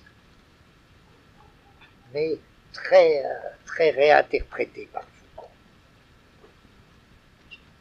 Car je crois finalement, et c'est une des choses très tellement émouvante dans la mort de Foucault, c'est que Foucault fait partie des hommes, il n'y en a pas beaucoup, qui sont morts à peu près comme il pensait la mort.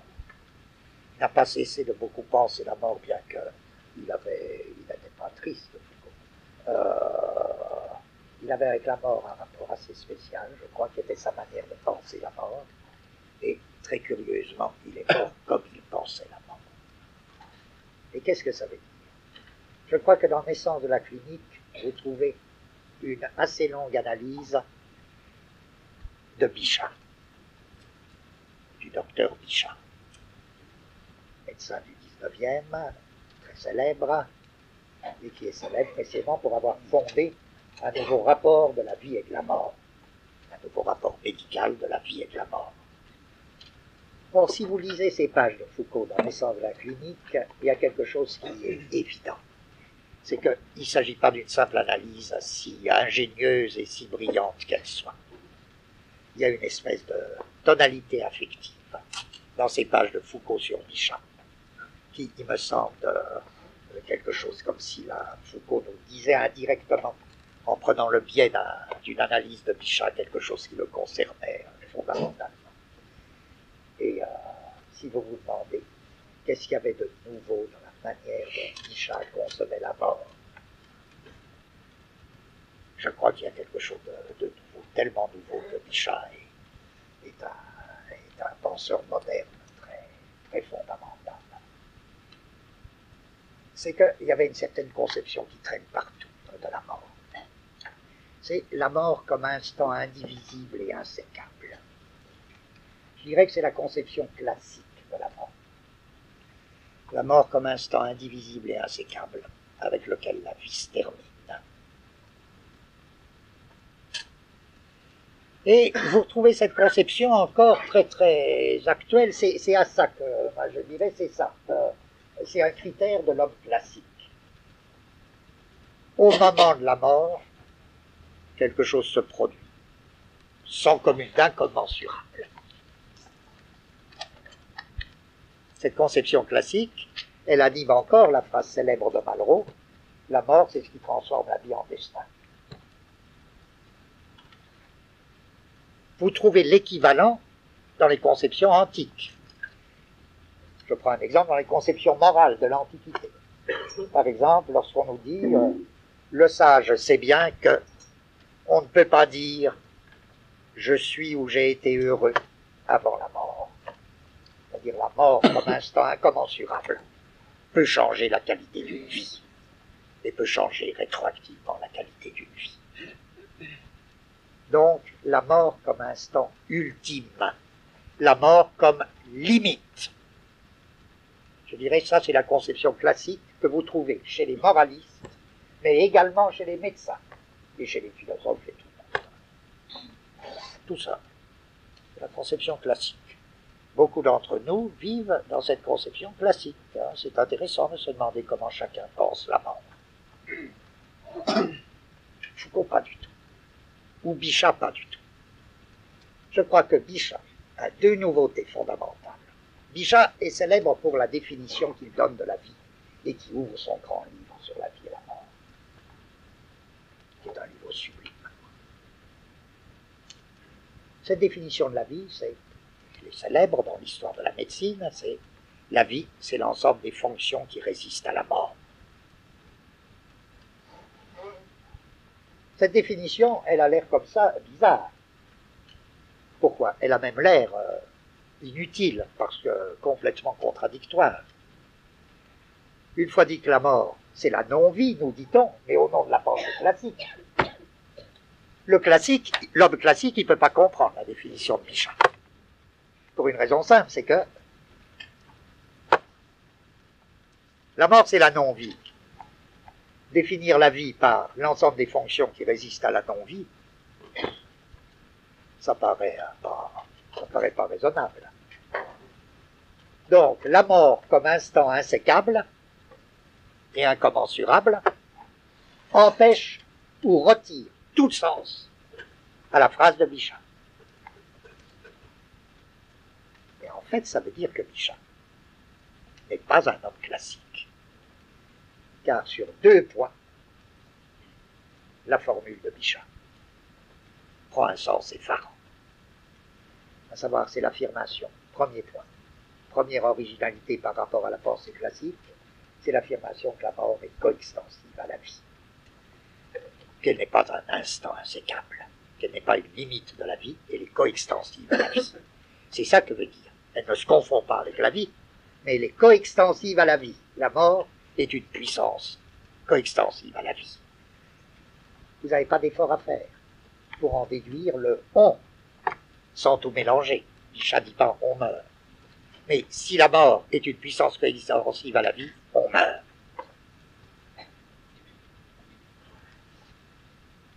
Les deuxième nouveauté de la pensée de Bichat. Dès lors, Loin d'être un instant insécable, la mort est disséminée. pluralisée, multipliée dans la vie. Elle est à la fois coextensive à la vie et elle essaime dans la vie sous forme de mort partielle. Donc, la mort comme puissance coextensive à la vie, premier point. Deuxième point, les morts partielles, parcellaires et multiples, qui se continuent d'ailleurs après la grande mort puisque ce qu'on appelle la grande mort, ben, la grande mort, c'est une mort légale. Et bien on n'en finit pas de mourir, tout comme on a commencé à mourir. Et si vous regardez ne serait-ce que la table des matières, faute de mieux, c'est déjà ça, du grand livre de Bichat, vous verrez qu'il est question de la mort cardiaque, la mort cérébrale, la mort pulmonaire, et toutes sortes d'autres morts. Et c'est avec Bichat que commence ce thème de la mort multiple et partielle, ou des morts multiples et partielles.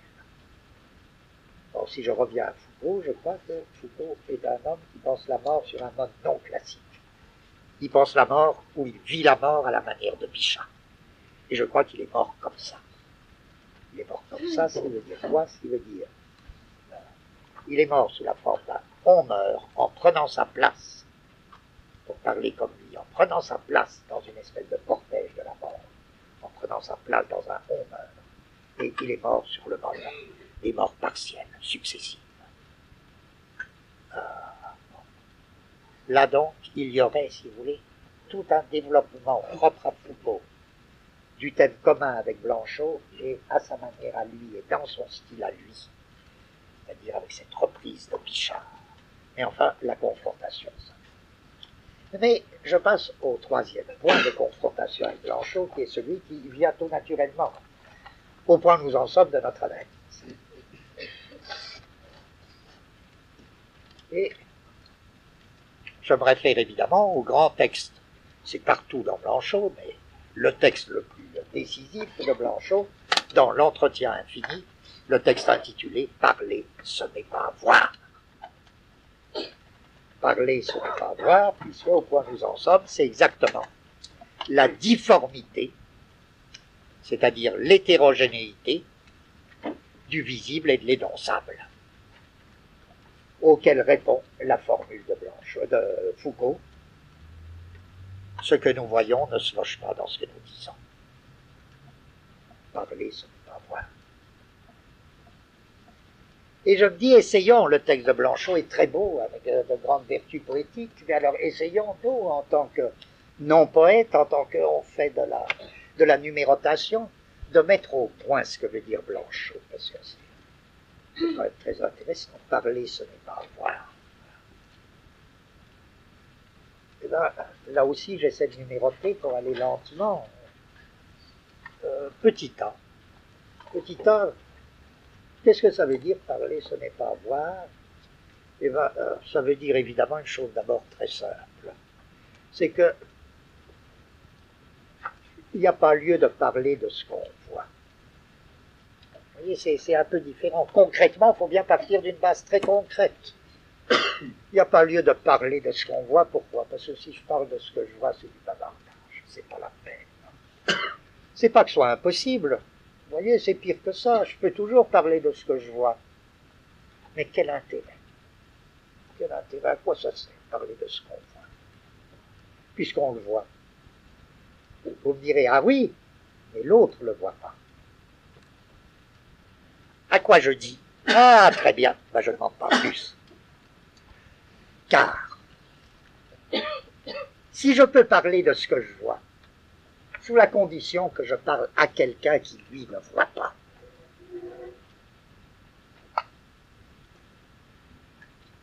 c'est que, loin de parler de ce que je vois, je parle de ce que l'autre ne voit pas.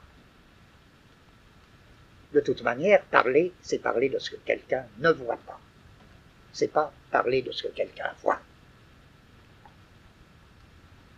Parce que si quelqu'un parlait de ce qu'il voyait, si je parlais de ce que quelqu'un voit, il suffirait de voir. Aucune raison de mobiliser la parole. Et en effet, si, si, si je parle pour dire, euh, euh, généralement quand je parle, c'est pour dire, t'as vu ça? Sous-entendu, tu l'as pas vu. On t'a vu, le drôle de type? Ça veut dire tu l'as pas vu. Ou alors, euh, si je parle de cette machine-là, eh ben, j'en parle, j'en parle à vous, hein, parce que vous voyez un notebook, moi. Moi, je dirais, ah, moi, j'ai un petit cercle rouge et bleu, là, sur cette connerie. Euh, et là, est-ce qu'il y en a un? Je ne le vois pas, alors je parle de ce que je vois pas.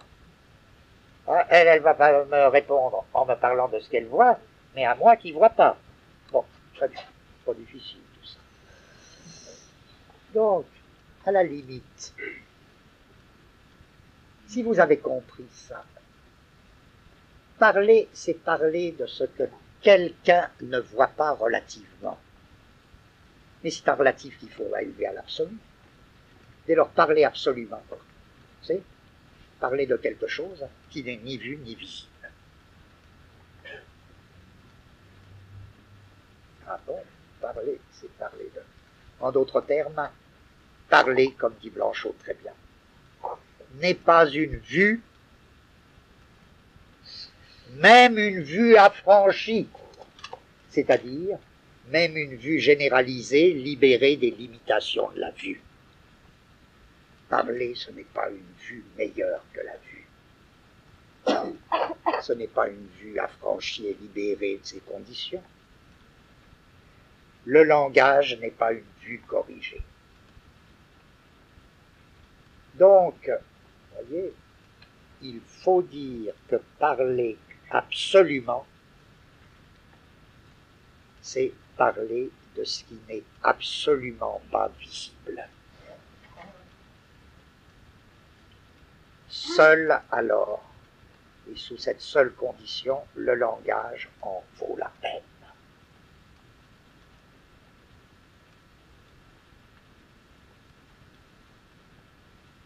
Deuxième proposition. Dès lors, lorsque nous disons parler ce n'est pas voir, nous définissons un exercice supérieur de la parole. Je pourrais définir, Blanchot le fait, j'essaie, c'est un libre commentaire de Blanchot que je vous propose. vous lirez le texte euh, dans l'entretien infini, euh, et vous pourrez très bien avoir un autre commentaire. Je c'est comme ça que je le comprends. Je veux dire, nous sommes forcés de distinguer deux exercices de la parole. L'un, je l'appellerais exercice empirique. Je parle, je parle, c'est même la plupart des, dans la journée, il euh, faut bien que j'ai un exercice empirique de la parole. Je parle de ce que je vois en tant qu'un autre ne le voit pas. Et encore, si je suis très intelligent, sinon, les heures où je suis idiot, ben, je parle de ce que je vois à quelqu'un qui le voit aussi. Euh, je suis à la télé, je dis oh les cow-boys arrivent. je, ne l'apprends à personne. Hein. Il est assez grand pour le voir aussi que les cow-boys arrivent. Euh, alors ça c'est l'exercice empirique. Mais l'exercice empirique, c'est en effet, je dis, oh, t'as vu, là, il pleut. Je suppose qu'il a rien vu. Je parle donc à quelqu'un en lui disant quelque chose qu'il ne voit pas relativement. Donc, à ce niveau, l'exercice empirique de la parole, je parle de choses qui, d'une manière ou d'une autre, pourraient aussi bien être vues. Ce que j'appelle exercice supérieur, c'est je parle de ce qui n'est pas visible. Ou si vous préférez, je parle de ce qui ne peut être que parlé. Ah, mais c'est une seconde proposition, parce que qu'est-ce que c'est ça? L'exercice supérieur de la parole naît lorsque la parole s'adresse à ce qui ne peut être que parlé.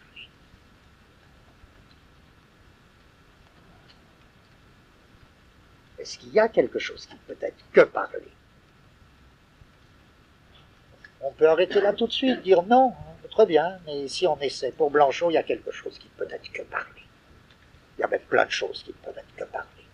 Sans doute la mort ne peut être que parler pour Blanchot. Mais pourquoi? Qu'est-ce que c'est ce qui ne peut être que parler et qui définirait l'exercice supérieur de la parole? Remarquez, ça ne va pas nous arranger, à moins que ça nous arrange. C'est aussi bien quelque chose qui ne peut pas être parlé.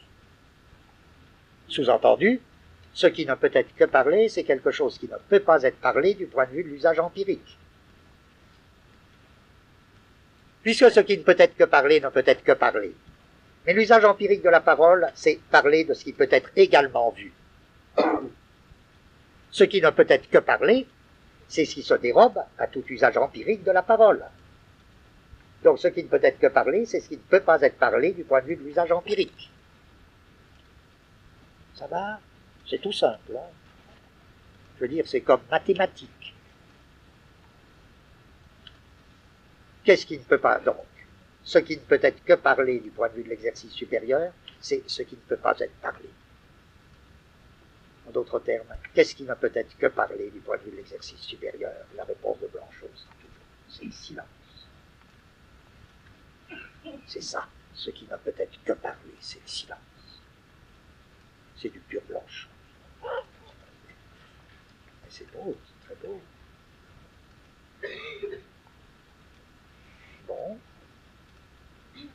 En d'autres termes, ce qui ne peut être que parler, c'est la limite propre de la parole.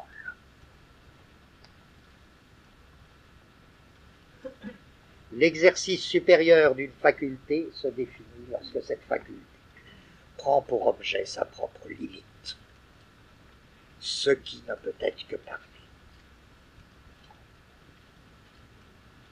Et dès lors, aussi bien, ce qui ne peut pas être parlé en empiriquement. Ouais, bien. Troisième proposition. Dès lors, on s'attend à ce que Blanchot nous dise exactement la même chose pour la vue. Car si parler ce n'est pas voir, dans la mesure où parler, c'est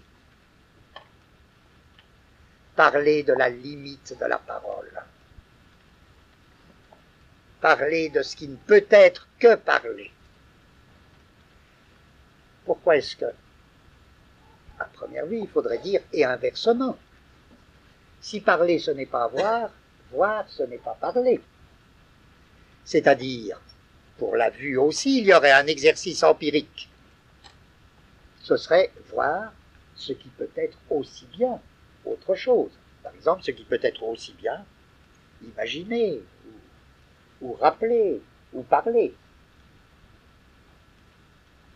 Ce serait un exercice empirique. Et l'exercice supérieur de la vue, ce serait voir ce qui ne peut être que vu. Mais voir ce qui ne peut être que vu, c'est voir ce qui ne peut pas être vu du point de vue de l'exercice empirique, la vision. Qu'est-ce qui ne peut pas être vu du point de vue de l'exercice empirique de la vision? La pure lumière.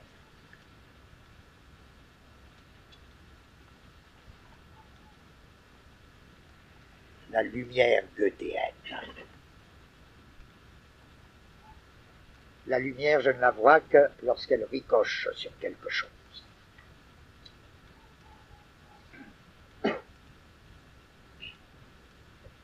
Mais la lumière indivisible, la pure lumière, je ne la vois pas, et c'est par là qu'elle est, ce qui ne peut être que vu. Ah bon, et eh ben voilà, très bien. En d'autres termes, de même que la parole trouve son objet supérieur dans ce qui ne peut être que parler. La vue trouverait son objet supérieur dans ce qui ne peut être que vu.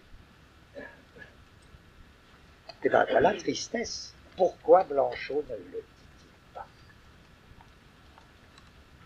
Pourquoi est-ce que Blanchot, là, il y a bien le symptôme d'une différence entre Foucault et Blanchot, pourquoi est-ce que Blanchot ne dit pas, à ma connaissance, et ne dira jamais, et inversement? Blanchot ne dira jamais parler ce n'est pas voir, et inversement.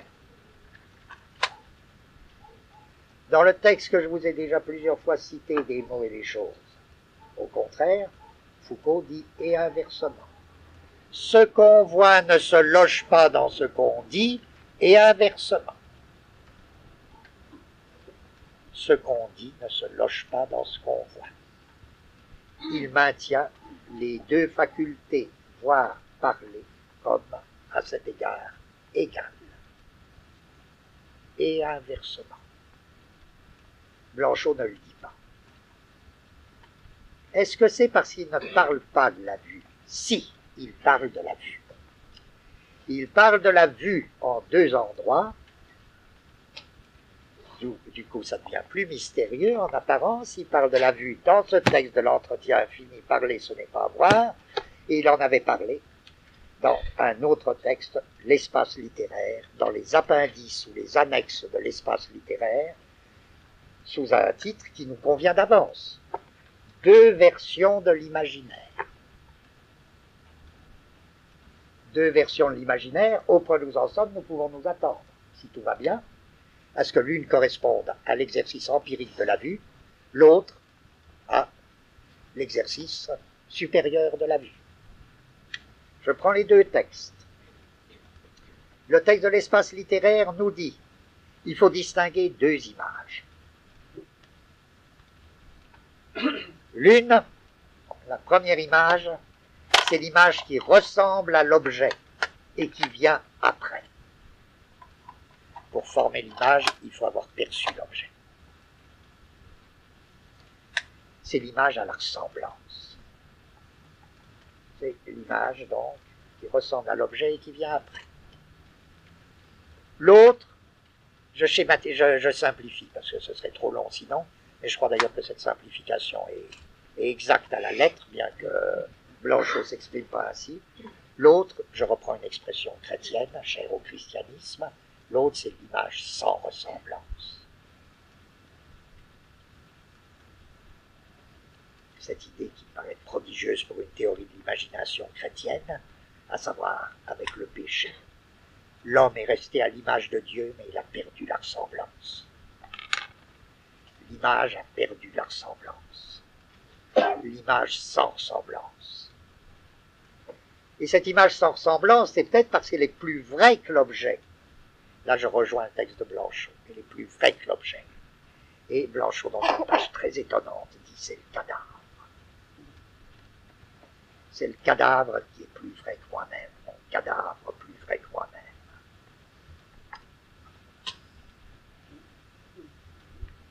Au point que ceux qui me pleurent disent. Comme ils se ressemblent, comme la mort l'a figé dans une attitude. Non plus le cadavre, c'est pas le cadavre qui ressemble au vivant que j'ai été, c'est le vivant que j'ai été, qui est à la ressemblance du magnifique cadavre que je suis. L'image sans ressemblance a surgi en mourant, je me suis lavé de la ressemblance. Je suis pure image, pur cadavre. Bon. C'est la manière dont Blanchot pense. Hein, voilà, c'est les deux versions de l'imaginaire. Je simplifie beaucoup. Voyez vous-même le texte. Très beau. Dans l'entretien infini, vous retrouvez le même thème sur un autre mode. Deux versions de l'imaginaire c'est quoi?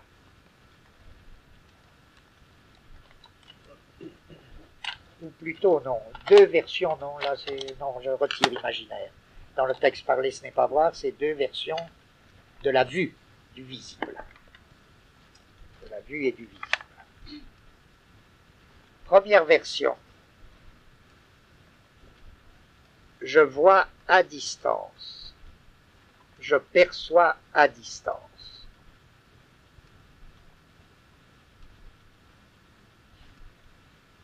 Je saisis les choses, les objets à distance. C'est bien connu, je ne commence pas par les saisir en moi pour les projeter. Je saisis la chose là où elle est. La psychologie moderne nous l'a appris. Je perçois à distance, je saisis à distance. Et puis, nous dit Blanchot, il y a une autre visibilité. C'est lorsque c'est la distance qui me saisit je suis saisi par la distance. Selon lui, donc, être saisi par la distance, c'est le contraire de saisir à distance. Et selon lui, c'est le rêve. C'est le rêve qui me saisit par la distance. C'est ce qu'il appelle, lorsque je suis saisi par la distance, au lieu de saisir à distance, c'est ce que Blanchot appelle la fascination. Je suis fasciné. Tu vois, c'est la même chose, être saisi par la distance ou voir se lever l'image sans ressemblance. C'est pareil. L'art, le rêve sont ces exercices de la vue. Alors, mon Dieu, mais mon Dieu, mon Dieu, qu'est-ce qui se passe? Qu'est-ce qui empêche Blanchot de dire et inversement? Puisqu'il y a tous les éléments. Curieux. Et là-dessus, on est très étonné parce qu'il euh, faut que vous voyez le texte si vous avez la même impression que moi. Il, est à deux doigts de le dire inversement. Eh ben non, il ne le dit pas, il ne le dira pas. Il ne le dira pas parce qu'on garde notre méthode parce qu'il ne peut pas le dire. Il ne peut pas le dire parce que ça, ça, ça ruinerait tout pense. Pourquoi? Parce que s'il passe par l'exemple de voir, c'est pas du tout pour dresser un autre cas que parler, c'est uniquement pour confirmer ce qu'il vient de dire sur parler. À savoir, l'aventure du visible ne fait que préparer la véritable aventure qui doit être celle de la parole pour Blanchot.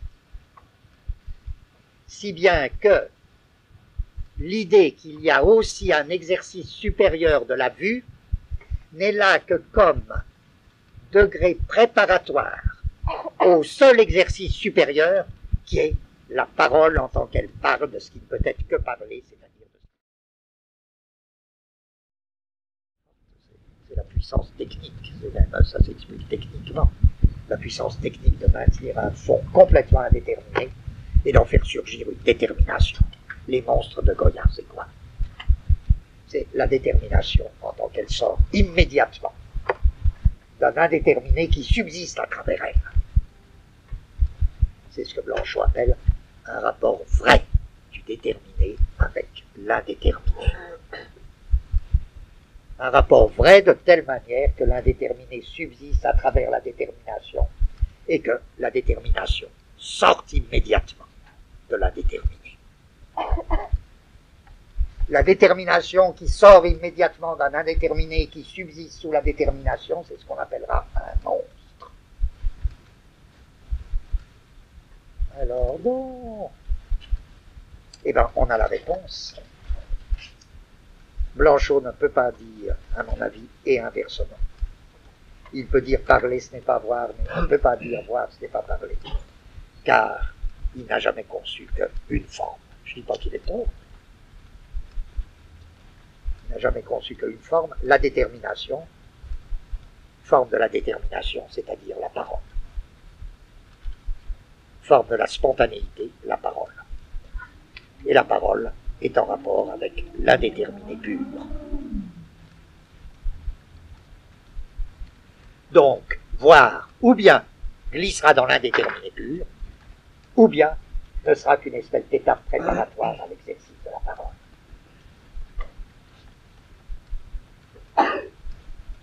On n'a pas besoin alors de voir la différence avec Foucault, mais elle éclate. On n'a fait que ça. Il suffit de rappeler que pour Foucault, il y a deux formes. La forme du visible, la forme de l'énonçable. Contrairement à Blanchot, Foucault a donné une forme au visible. C'est-à-dire, pour Foucault, vous me direz c'est minuscule. Moi je crois que c'est très important cette différence. Elle n'est pas minuscule. Pour Blanchot, tout passait par un rapport de la détermination et de l'indéterminé pur. Pour Foucault, et par là il est kantien et non pas cartésien, tout passe par un rapport de la détermination et du déterminable.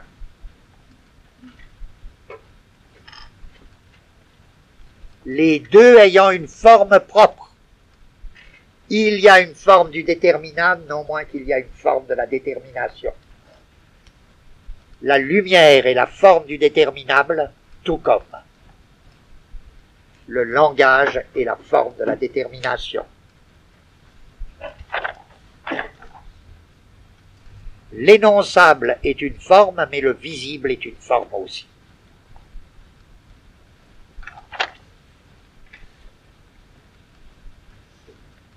Dès lors, Foucault, lui, sera forcé d'ajouter le et inversement. Et le et inversement n'est pas une petite addition, c'est un remaniement du thème de Blanchot, parler, ce n'est pas voir.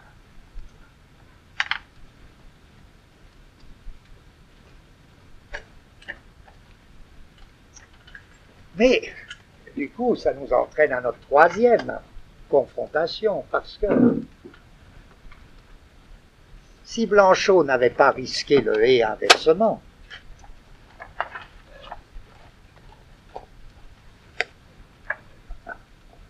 si Foucault fait passer donc la béance, la faille entre deux formes, forme de l'énonçable et forme du visible, forme de la détermination et forme du déterminable,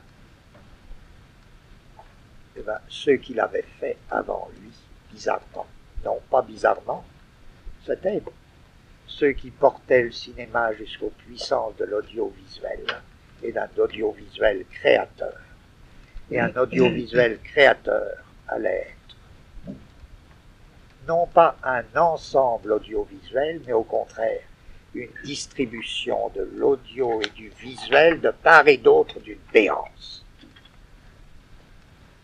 Et je dis, bah, c'est ça qui définit. Et comme on l'a vu l'année dernière, je résume juste, j'essaie de résumer pour ceux qui n'étaient pas là, ou de reprendre du point de vue, là, parce que ça m'importe beaucoup, là aussi, je voudrais numéroter. Donc, première proposition. Qu'est-ce qui se passe dans ces œuvres dont on sait bien qu'elles ne convoquent pas beaucoup de spectateurs, mais qu'en même temps elles sont, c'est elles qui font le vrai cinéma aujourd'hui, euh, ces œuvres comme euh, celles de Siderberg, de Destro ou de, ou de Marguerite qu'est-ce qui vous qu'est-ce qui frappe immédiatement? C'est que, je dirais, c'est le nouvel usage de la parole, nouvel usage du parlant. Ce nouvel usage du parlant, il s'insère complètement dans notre problème. Pourquoi? Parce que pendant très longtemps, au moins en apparence, sais pas, c'est peut-être très compliqué, mais au moins en apparence, parler, c'était faire voir.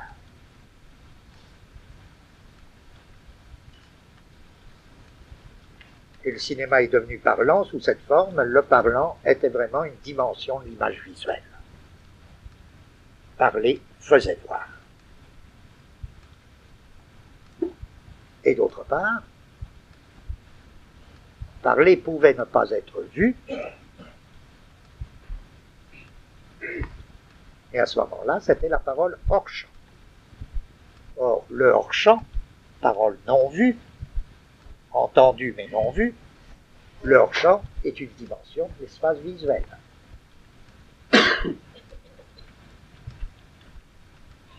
Le hors-champ est une dimension de l'espace visuel, puisque c'est le prolongement de l'espace visuel hors du cadre. Alors on ne le voit pas. C'est pas pour ça qu'il n'est pas visuel. On ne le voit pas en fait. Mais le hors-champ, il peut se définir que comme ce qui dépasse le cadre visuel. Sous ces deux aspects, je peux dire que le premier parlant dans le cinéma était du type parler ses voir. Soit la parole de gens qu'on voit à l'écran, et cette parole nous fait voir quelque chose, soit la parole hors champ, et le hors champ. Et cette parole, la voix off, cette parole hors-champ vient meubler le hors-champ, le hors-champ étant une dimension du visuel.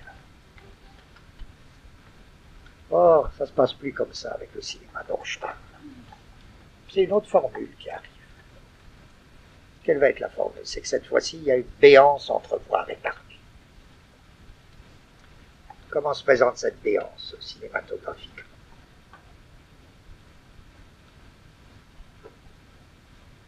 La parole raconte une histoire qu'on ne voit pas. La parole raconte une histoire qu'on ne voit pas. L'image visuelle fait voir des lieux qui n'ont pas ou qui n'ont plus d'histoire. C'est-à-dire des lieux vides, des lieux vides d'histoire.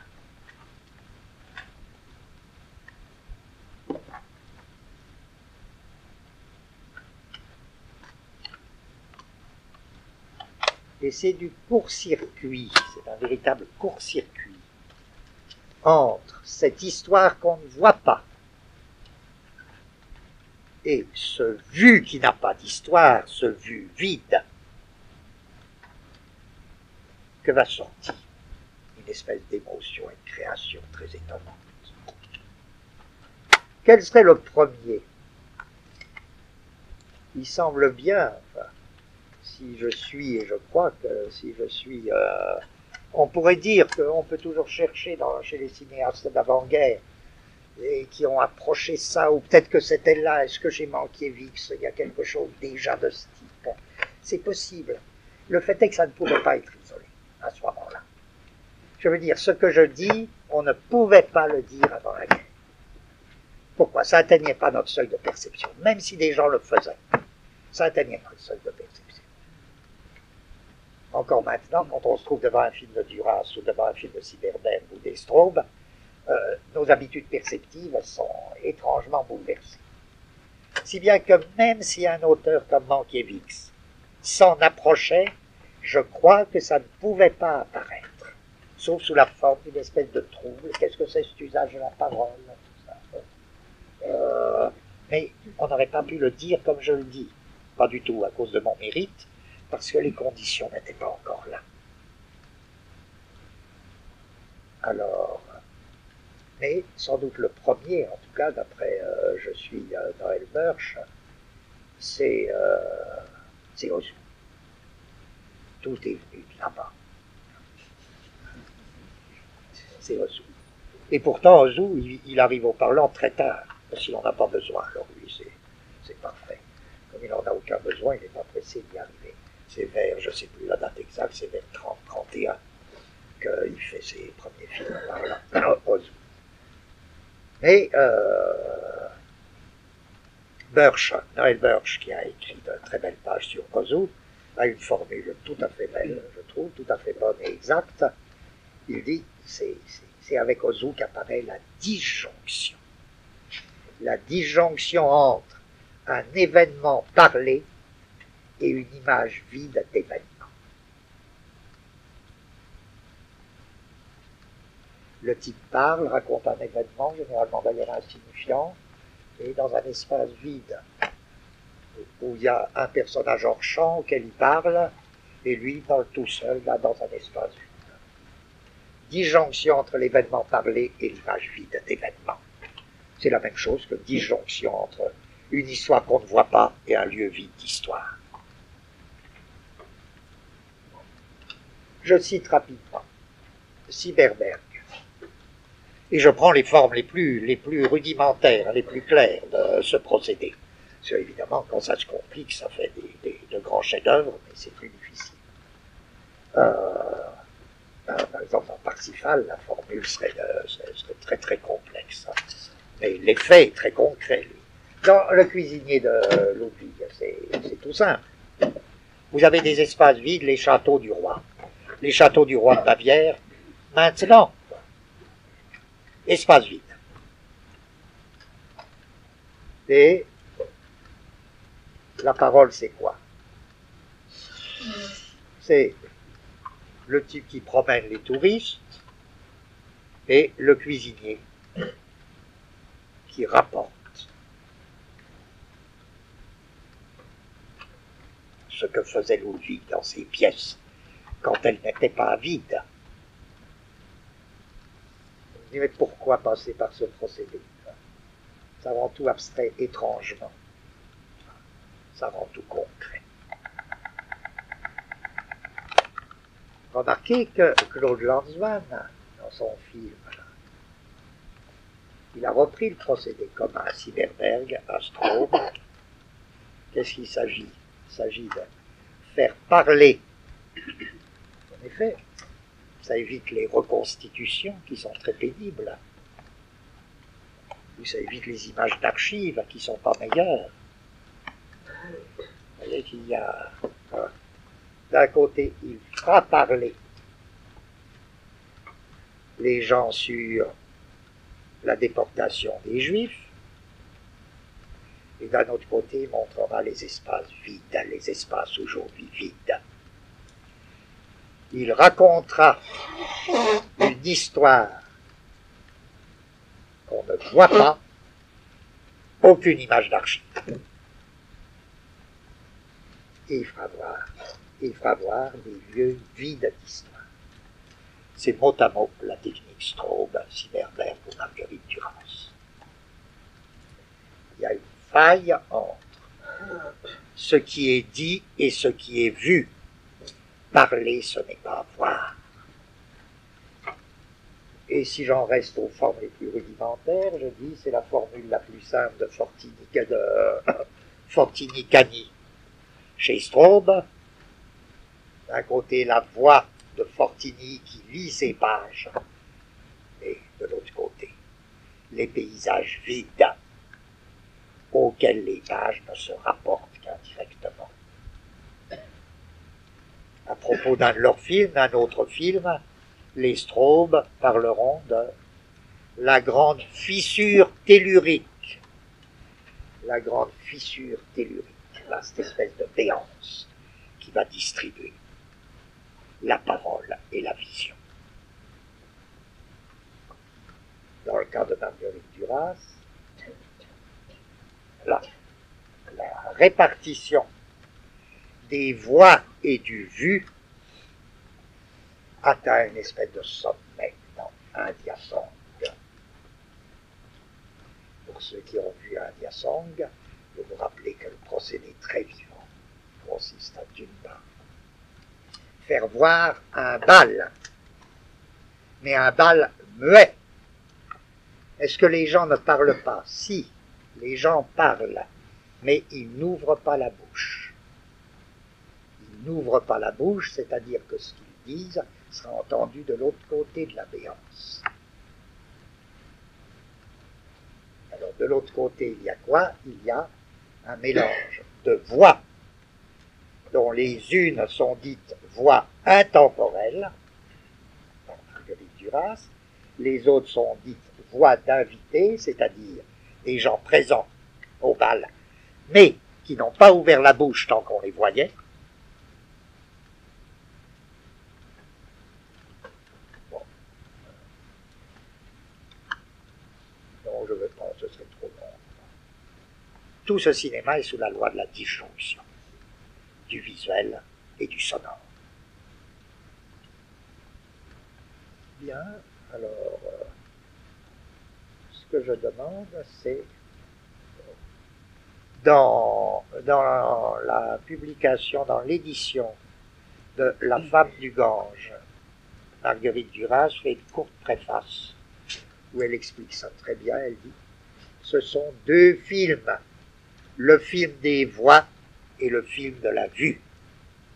Ce sont deux films, et alors là, elle fait de la provocation, provocation typique. Elle dit ces deux films n'ont strictement aucun rapport. Rien à voir. Bien plus, s'ils se touchent, tout meurt. La jonction les fait pourrir. Ce qui permet évidemment à Mitri de dire c'est n'importe quoi sur n'importe quoi. Alors, si l'on consent à ce que ce n'est pas n'importe quoi sur n'importe quoi, qu'est-ce que c'est? Il est bien évident qu'il ne suffit pas de. Je crois qu'il y a un film très intéressant de qui va tout à fait en sens, vous savez. Présentation de photos, visuels et commentaires. Et plus le commentaire se développe, plus il décolle de ce que montrent les photos. Au point que, là aussi c'est de la provoque, c'est bien, c'est au point que on se dit, mais enfin, de quoi il parle, tout ça, ça aucun rapport avec la photo, etc. Et l'écart augmente entre le dit et le vu. Bien. Et pourquoi faire tout ça? Il faut bien que ce ne soit pas n'importe quoi sur n'importe quoi, sinon ça dépasserait pas alors un exercice surréaliste un peu faible. Eh bien, en effet, reprenons l'exemple de Marguerite Duras, de India Qu'est-ce qu'il y a de commun, s'il y a quelque chose de commun, entre parler et voir? Je ne dis pas une forme commune, hein. je dis un quelque chose de commun. Est-ce qu'il y a un quelque chose de commun entre parler et voir? Eh bien oui. Le bal vu vaut pour un autre bal qu'on ne voit pas. Celui où c'est noué. Un enlèvement et où est né un amour fou. Donc le bal présent glacé vaut pour cet autre bal qu'on ne verra pas. Et les, les voix de l'autre côté de l'image, les voix nous parlent de ce vieux bal qu'on verra pas. Pourquoi est-ce qu'on ne le voit pas? Est-ce que c'est à faire comme ça? C'est que dans la mesure où il a vu naître l'amour fou, il n'est plus du domaine du visible. L'amour fou est au-delà de ce qu'on peut voir. Bon. Mais alors, touche à quelque chose de très important pour ce cinéma. C'est un cycle très curieux. Je dirais, ce que l'image visuelle enfouit, l'image visuelle enfouit quelque chose. L'image visuelle recouvre quelque chose l'image visuelle vaut par ce qu'il y a en dessous. C'est la limite supérieure de la vue. La vue qui saisit ce qui n'est pas visible. Sous la terre, je saisirai les morts. Constant chez les Strobes. Sous le bal, je saisirai l'autre balle enfouie.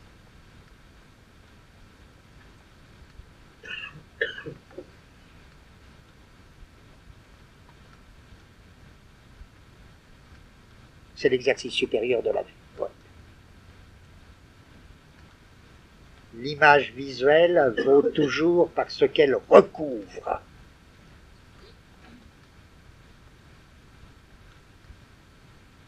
On a vu l'année dernière les Strobes faire quelques minutes de cinéma, en plaçant des gens sur des collines, leur faisant réciter un poème de Mallarmé célèbre, et sous ces collines, il y a les cadavres des communards. on ne verra pas ces cadavres. La terre vaut par ce qu'elle enfouit. Constant chez les Strobes, c'est eux qui vont le plus loin dans cette espèce de stratigraphie. Ou comme dirait Foucault, d'archéologie. L'image visuelle est archéologique. Bon, l'image visuelle n'a comme sens que d'enfoncer quelque chose qu'elle enfouit. Et l'image parlante a comme sens de faire monter quelque chose qui ne peut être que parler, puisque enfoui pour la vue. L'événement. Le même événement est enfoui sous la terre, libéré dans la parole c'est pas n'importe quoi sur n'importe quoi. C'est le même événement qui n'a d'existence que biface. Une fois libéré par la parole, une fois enfoui sous la terre. Si bien qu'il y a un cycle. Plus la terre, c'est le cycle qui me paraît frappant, c'est le cycle des Strobes. une espèce de cycle cosmique. Où plus la Terre enfouit et dérobe à notre vue l'événement, nous ne voyons que des espaces vides. Plus la Terre enfouit l'événement, plus la parole le libère. En d'autres termes, la parole est aérienne et la vue est souterraine.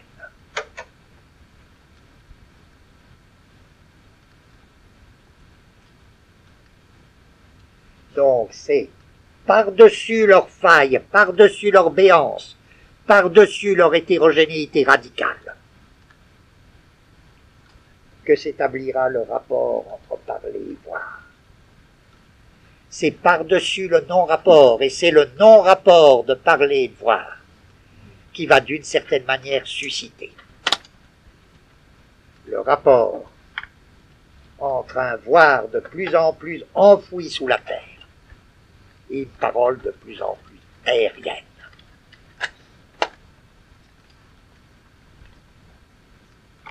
D'où l'importance pour moi, là, dans ce que je disais tout à l'heure, l'importance de, quand il a eu un rapport euh, direct avec le cinéma, euh, avec le film que Alliot tirait du cas de Pierre Rivière, comment est-ce que, bien sûr, il n'avait pas la, il n'avait pas la possibilité d'imposer un rapport entre euh, le visuel et... Mais c'est évident qu'un cas comme celui de Pierre Rivière, comprenez, aurait favorisé des recherches de ce genre. Puisqu'il y avait le cahier, encore une fois, du gamin, et l'événement, ce qu'il avait fait, c'est-à-dire cette espèce de liquidation, d'assassinat de toute sa famille qu'il avait fait. Pendant quel rapport?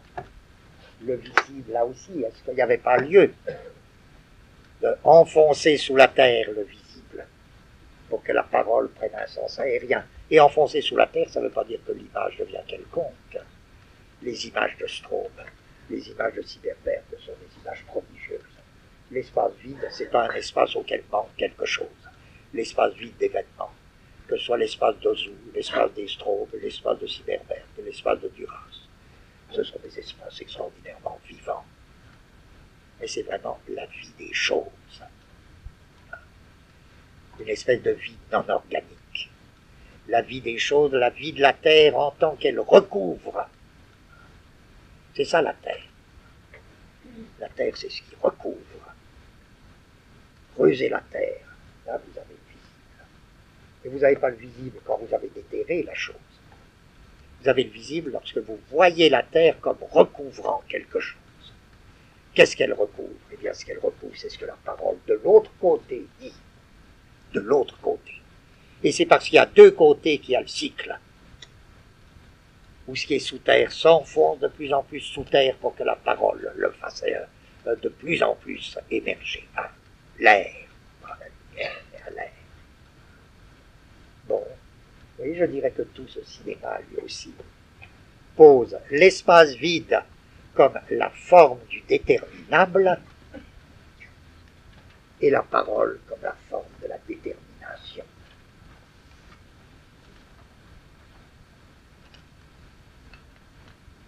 Si bien que le rapport de Foucault avec ce nouveau cinéma me paraît pas du tout un rapport d'influence. Je crois qu'il y a eu influence dans aucun des deux sens. C'est pas Foucault qui influence euh, Duras ou Siderberg, mais c'est pas non plus Duras et Siderberg qui influencent Foucault. Chacun est parvenu à, ce type euh, par ses propres recherches. Voilà. D'où alors, maintenant, on se trouve devant la quatrième chose, et, eh ben, et quelle est la réponse propre à Foucault? Donc on vient de voir un début de réponse. Le début de réponse qu'on vient de voir, il me semble même la réponse complète. Mais je ne suis pas sûr que ce soit celle de Foucault, je suis même sûr que ce n'est pas celle de Foucault, c'est exactement ceci. C'est forcément le non-rapport engendre un rapport. Et pourquoi? Comment? Le non-rapport engendre un rapport parce que la parole et la vue, en tant que sans rapport, atteignent chacune à sa propre limite.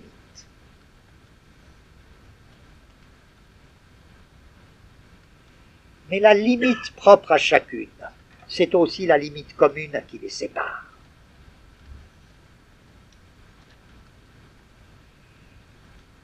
C'est la limite commune qui les sépare et qui les rapporte l'un à l'autre en les séparant.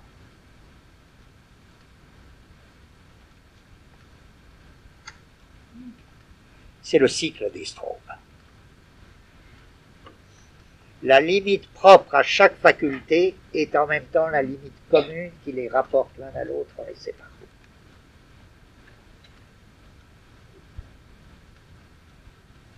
Je vais vous dire, ce serait pour ce problème, ce serait, ce serait ma réponse. Je, je vais tout à fait d'accord. Le fait est que, à mon avis, on peut l'appliquer ça à Foucault. Ce serait un peu euh, inexact parce que je crois qu'il a une autre réponse. Il a une autre réponse. D'où la nécessité de la quatrième et dernière confrontation. Il a une autre réponse qu'il va beaucoup plus chercher du côté de Raymond Roussel le poète bizarre du début du XXe siècle. Et bien plus, Raymond Roussel lui fournit non pas des réponses, mais lui fournit plusieurs éléments de réponse. Nous, en sommes à cela, confrontation avec Roussel, et quelle est la réponse propre à Foucault quant à ce problème? Quel rapport y a-t-il entre parler et voir? Ce que nous ferons la prochaine